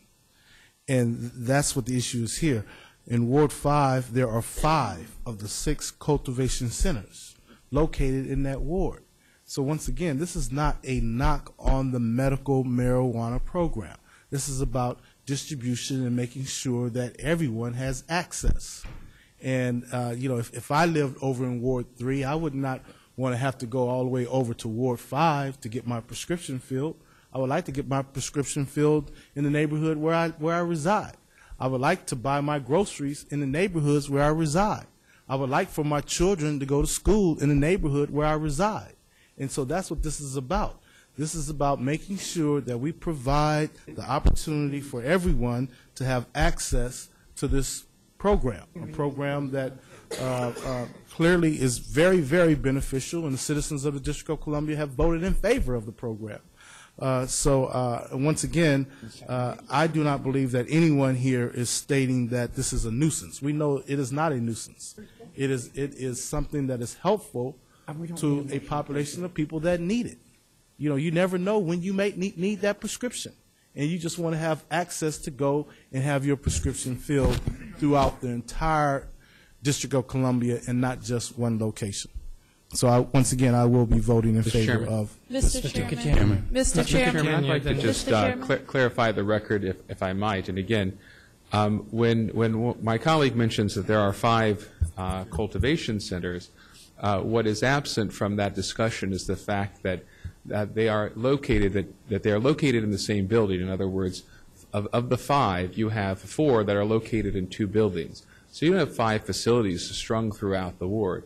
You have three. You have two cultivation centers on the first and second floor. So it's not as if there is, there are five facilities. There are three separate facilities that are in warehouse districts that are zoned for that purpose. They're not in the middle of residential areas. And, and I support the direction that Mr. McDuffie uh, is moving, Mr. Chairman.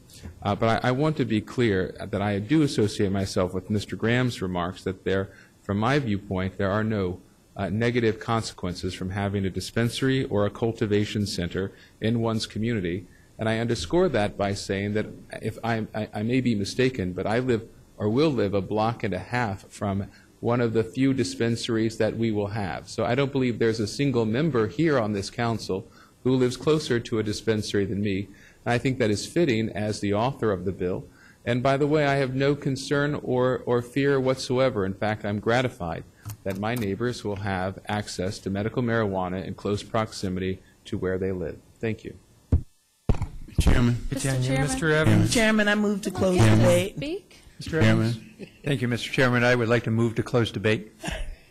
Me too. Motion has been made to close debate, which is not debatable. The effect of which is that um, anybody who's not spoken will be able to speak. In the second and round, Mr. Chairman, mover right? of the motion will be able to speak. Chairman, I, All those in favor of the motion to close debate, say aye. Aye. Opposed? No. Uh, The ayes have it unanimously. Chairman. Mr. Bowser, Chairman? did you want to be recognized? Did you call me? Yes. Thank you. Um, eh, well, Mr. Chairman, I just want to uh, kind of.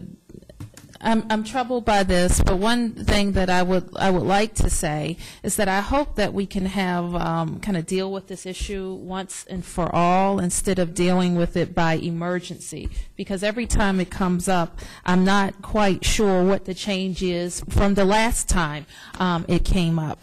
Um, and so, like everyone has stated, we have been supportive of medical marijuana in the District of Columbia. Um, and like has also been stated, there are many communities that sometimes have uh, more of a use than others. Like, for example, we have more group homes um, for that serve people with disabilities in Ward 4, which we hear a lot about concentration issues uh, around. Uh, I am uh, supportive of Mr. McDuffie's efforts for the, the industrial use task force.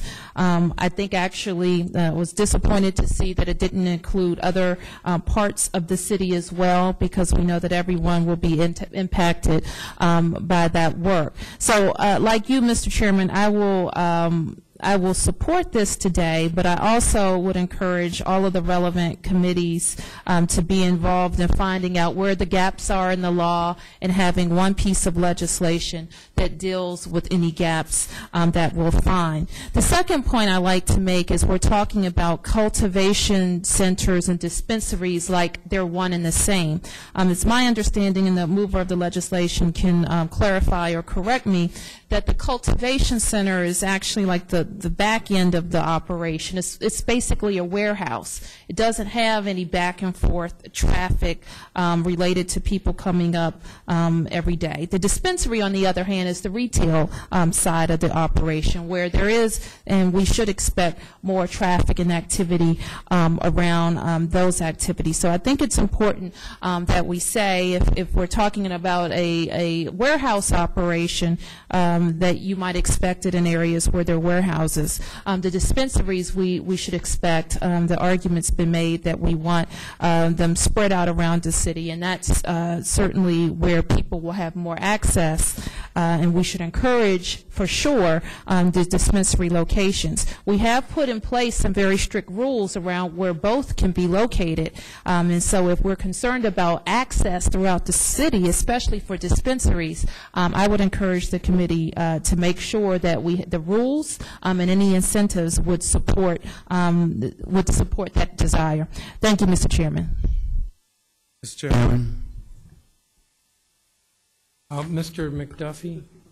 Mr. Chairman. Thank you, Mr. Uh, Mr. Barry, you, you spoke already in first round. Mr. Orange started the second round, Mr. Chairman. That's correct, and a And motion I would like was- to be in line for the You- second round. You can't, because a motion to close debate was moved and approved, was adopted after Mr. Orange spoke. Mr. Chairman. And therefore, anybody who'd already spoken could not speak again, except for Yeah, the but maker that of the is motion. not right. You said That's to the me. rule.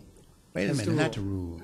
What you said was that Mr. Orange started the second round. And so it seems to me that those of us who spoke in the first round uh, and want to speak on the second round ought to have an opportunity to do so. The motion to close debate, which was adopted, um, stopped that. You- That was you're the saying effect of the motion to close debate. Because was to Mr. Orange stop started the second round, those of us who wanted to be in line before the debate was voted upon can't speak. Correct. But That was don't- the effect of the council voting to close debate. The only person after that motion was adopted who can speak a second time is the maker of the motion, which in this case is Mr. McDuffie. Mr. Orange spoke sec- a second time. Prior to that uh, motion to close debate being adopted. All right, I don't, I'm, I'm not gonna quibble about that, but, uh, I think it's not proper, but I'm not gonna do anything about that. I support Um, Mr. McDuffie. Mr. That's- McDuffie. That's what I wanna vote on. Thank you, and I appreciate that, Councilmember uh, Barry, as well as the other council members for their comments. Uh, I think, you know, all the comments that we heard uh, on this, this, this bill speaks less to sort of the disagreement uh, on this body and, and more toward the importance of this, of this bill and importance of standing up a medical marijuana program that allows the uh, access uh, to the people who really need it. I think everybody wants that. Uh, it's, it's obviously my desire to make sure that we see that through as well. Uh, and it's also important, I want to note that we have the support of, of Councilmember Catania as well as Chairman Mendelson, uh, who over the years have worked uh, on this program. And so uh, I don't want to discount that, and I, and I, and I really appreciate all the comments we've heard thus far from all the members, uh, uh, particularly the members who, who have decided to support this emergency. Uh, thank you.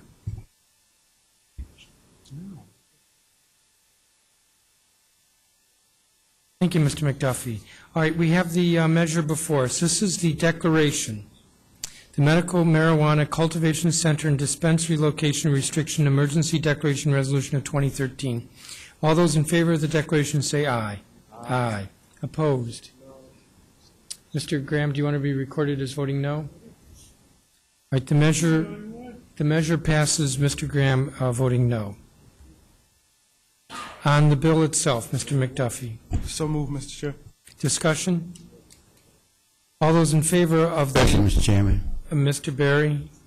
Mr. Chairman, as I said earlier, I'm going to support this, but I wanted to point out to the body that this program is in serious trouble.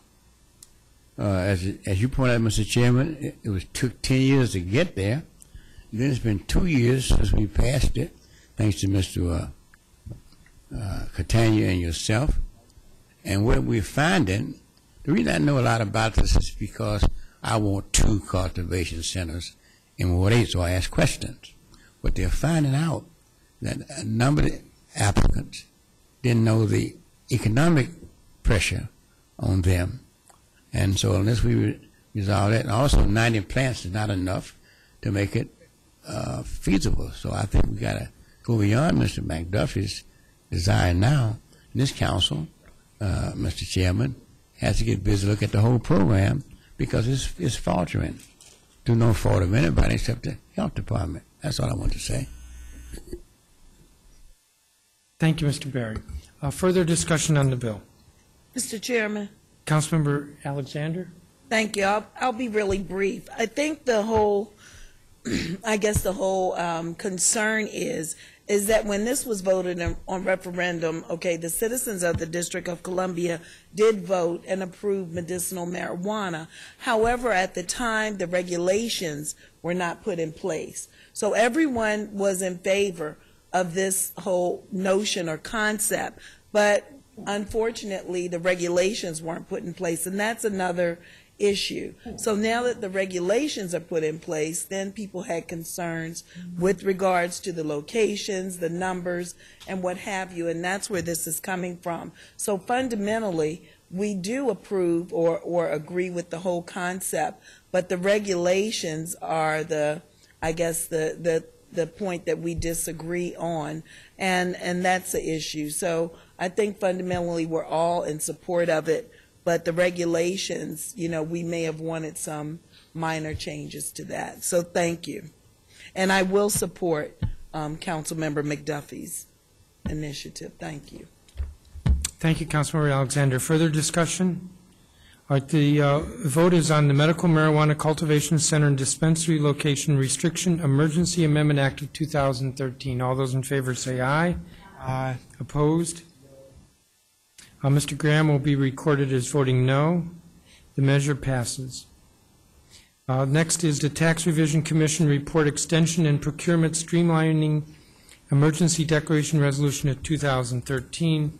I circulated the notice for this, uh, and it was, um, I'm moving this at the request of former uh, Mayor Anthony Williams, who's the chair of the Tax Revision Commission. The, um, uh, I believe,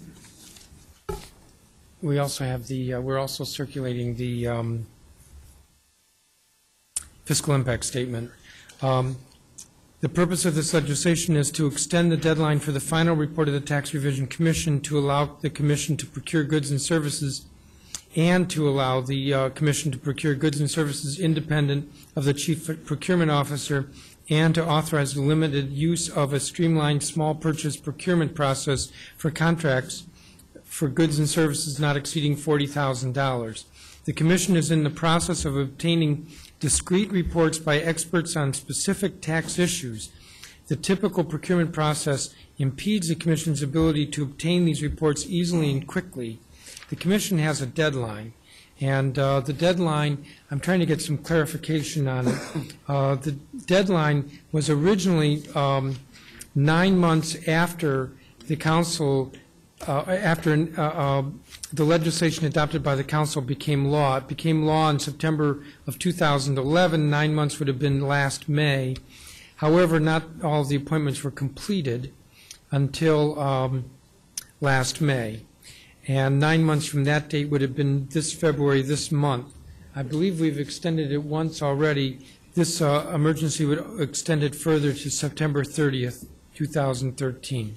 So, in short, this would facilitate the commission's ability to hire tax experts for very low-cost uh, contracts, let's say $20,000, $30,000, there's a cap of $40,000, uh, without going through the uh, typical procurement process, and also would extend the deadline for the commission's work to September 30th of this year. I move the declaration. Mr. Chairman, Mr. Grosso. I just want to speak in support of this uh, this act and the uh, following uh, emergency as well. You know, this uh, work of the Tax Review Commission is extremely important for the District of Columbia. And uh, when I've spoken to the former Mayor Williams about the work they're undertaking, um, I'm really heartened to hear that he's going to come back with some concrete recommendations for the council on how we can reform the way that we uh, collect taxes and the taxes that we collect in D.C. Um, I think it's also important that uh, you've uh, put the deadline at September 30th in the sense that we'll have time then to uh, pull these before the council uh, before the next budget pro- uh, process begins. So uh, thank you very much, and I just wanted to speak in support. Thank you, Mr. Grosso. Further discussion? The the vote is on the Tax Revision Commission Report Extension and Procurement Streamlining Emergency Declaration Resolution of 2013. All in favor, say aye. Aye. Opposed? The ayes have it unanimously. On the Emergency Act, uh, I move it. Discussion. All those in favor of the Emergency Act, say aye. Aye. Opposed? The ayes have it unanimously. The next item is the Department of Fire and Emergency Medical Services inaugural overtime clarification emergency declaration resolution of 2013. The, um, as the notice um, of this emergency that was circulated last week indicated, when the council adopted the Budget Support Amendment Act of um, 2012 for fiscal year 2013. It once again included limitations on overtime, uh, restrictions on overtime uh, with regard to the fire and EMS department. Um, There was included in that legislation an exemption from those limitations during pay periods one and two of calendar year 2013, corresponding with the presidential inauguration. Pay periods one and two were specified by the Office of the Chief Financial Officer, who now indicates that they made a mistake, and that the correct pay periods were not one and two, but pay periods two and three. That is the effect of this emergency legislation, is to correct that mistake by the Office of the Chief Financial Officer. I move the declaration. Discussion? All those in favor of the declaration say aye. Aye. Opposed? The ayes have it unanimously. On the act, uh, so moved. Discussion. All those in favor say aye. Aye. Opposed? The ayes have it unanimously. We will turn now to uh, emergency legislation at the request of the mayor. The first is contract DCPO dash 2008 dash T dash 0076 Emergency Declaration Resolution of 2013. This is with J.P. Morgan Chase Bank. Councilmember McDuffie. Thank you, Mr. Chairman. Today, on behalf of the mayor, I'm moving contract DCPO dash two zero zero eight dash T dash zero zero seven six, emergency declaration resolution of two thousand thirteen, and contract DCPO dash two zero zero eight dash T dash zero zero seven six, emergency approval act. Uh, this measure addresses the immediate need to approve a multi-year contract through an approved mem- memorandum of understanding with the United States Department of Justice to tag its task order with J.P. Morgan Chase Bank. The contract will provide district agencies commercial card services for purchase and travel cards under the General Services Administration's Smart Pay 2 program. These services are vital to the operation of many district agencies. The original contract was for a base period from November 30th, 2008 through November 29th, 2012. Approval of this retroactive contract will allow the district to exercise the first three-year option period of this multi-year contract in the amount of $45 million. Again, this contract is via an MOU with the Department of Justice, so the 45 million is not expended at the outset. Rather, the contract operates by having participating district agencies encumber funds in advance and then make payments on a monthly basis as purchases are made.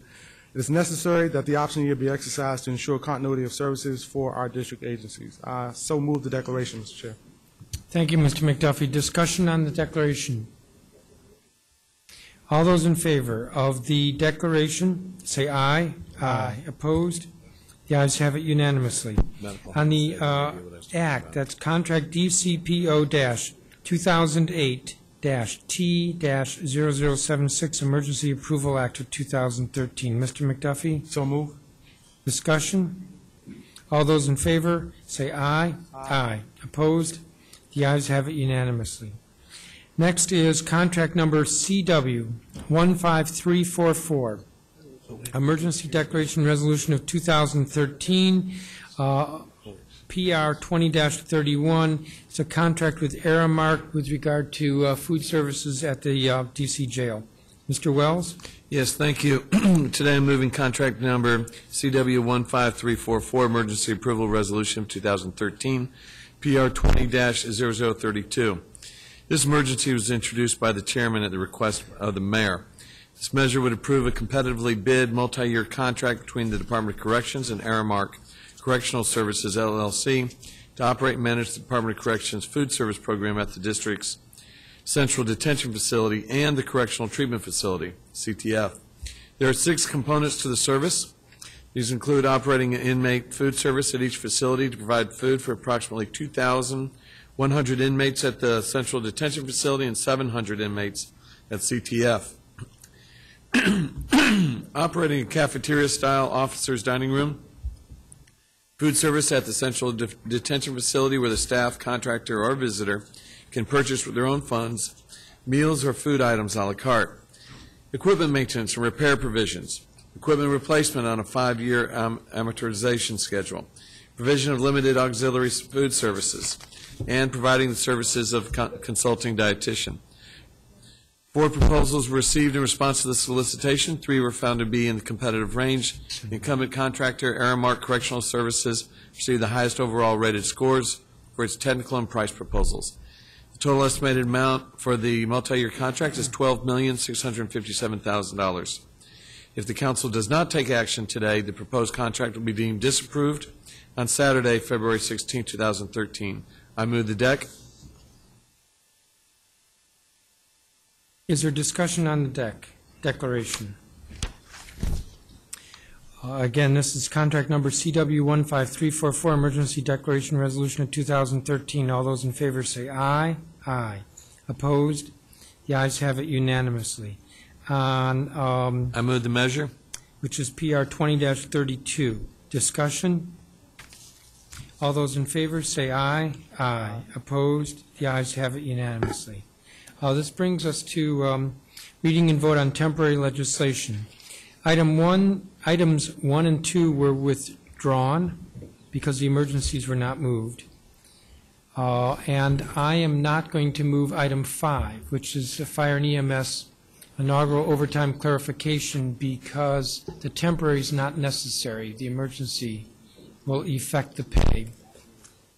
Um, So what we have before us, and without objection will be moved in block, is items three, Medical Marijuana Cultivation Center and Dispensary Location Restriction Temporary Amendment Act of 2013, and item four, Tax Revision Commission Report Extension and Procurement Streamlining Temporary Act of 2013.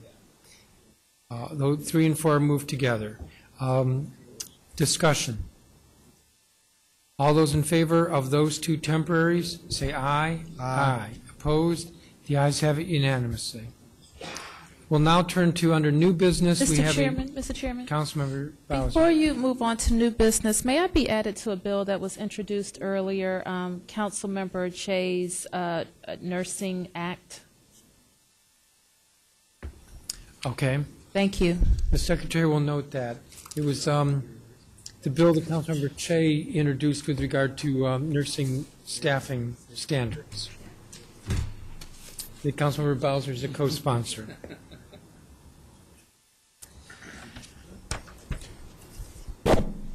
Uh, We are now at new business, and uh, there's one item, and that's motion to reconsider reckless driving Congressional Review Emergency Amendment Act of 2013, Bill 20-4. Councilmember Cheh.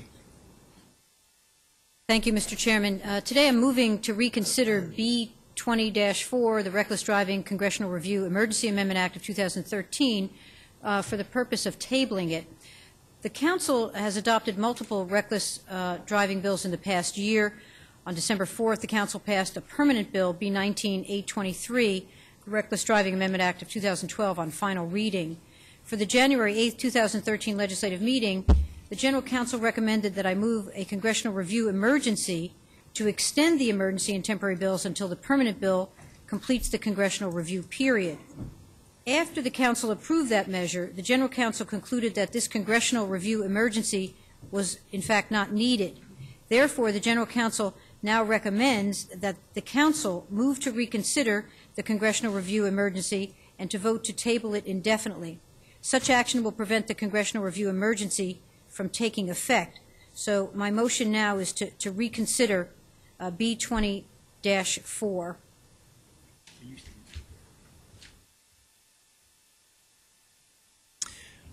All right, the um, motion has been made to table it. To- I- We have to recon, we have to Oh, bring it to I'm the sorry. table, and then we'll table it. Good point. So All right, the motion is to reconsider. And this matter, although uh, adopted, uh, has not been transmitted. Correct. And therefore, we're able to reconsider it. And the motion to reconsider is not debatable? Doesn't matter. Uh, If there's no objection, I think it's debatable. is there any There's- but objection to there's the no motion to reconsider? Hearing none, it's uh, before us. Councilmember Cheh. Uh, Now I move to table the bill. All right, the motion is to table it, which is not uh, uh, discussable. All those, in thank you, discussable. All those in favor of the motion to table the Reckless Driving Congressional Review Emergency Amendment Act of 2013, Bill 20-4, say aye. Aye. Opposed? The ayes have it, the bill is tabled. Mr. Chairman, Mr. Graham. I, I, may I, may I ask that I be recorded as voting no on the Medical Marijuana Cultivation Center and Dispensary Location Restriction Temporary Amendment Act of 2013? Temporary slipped by, but our very alert staff has brought to my attention that I might want to be consistent, and I do want to be consistent. Uh, The cleaner way, I hate to say it, since it was moved in block, would be to um, reconsider the two. If there's no objection, we will consider. Items three and four, uh, these are temporary bills on pages five and six. There's no objection. All right, what we have before us, I'll move them separately, is the Medical Marijuana Cultivation Center and Dispensary Location Restriction Temporary Amendment Act of 2013. All those in favor, say aye. Aye. Opposed? No. Right, Record Mr. Graham as voting no. Tax Revision Commission Report Extension and Procurement Streamlining Temporary Act of 2013. All those in favor say aye. Aye. Opposed? The ayes have it unanimously. I believe there's no further business before us. The time is now 1:58 in the afternoon, and this meeting is adjourned. Good burial.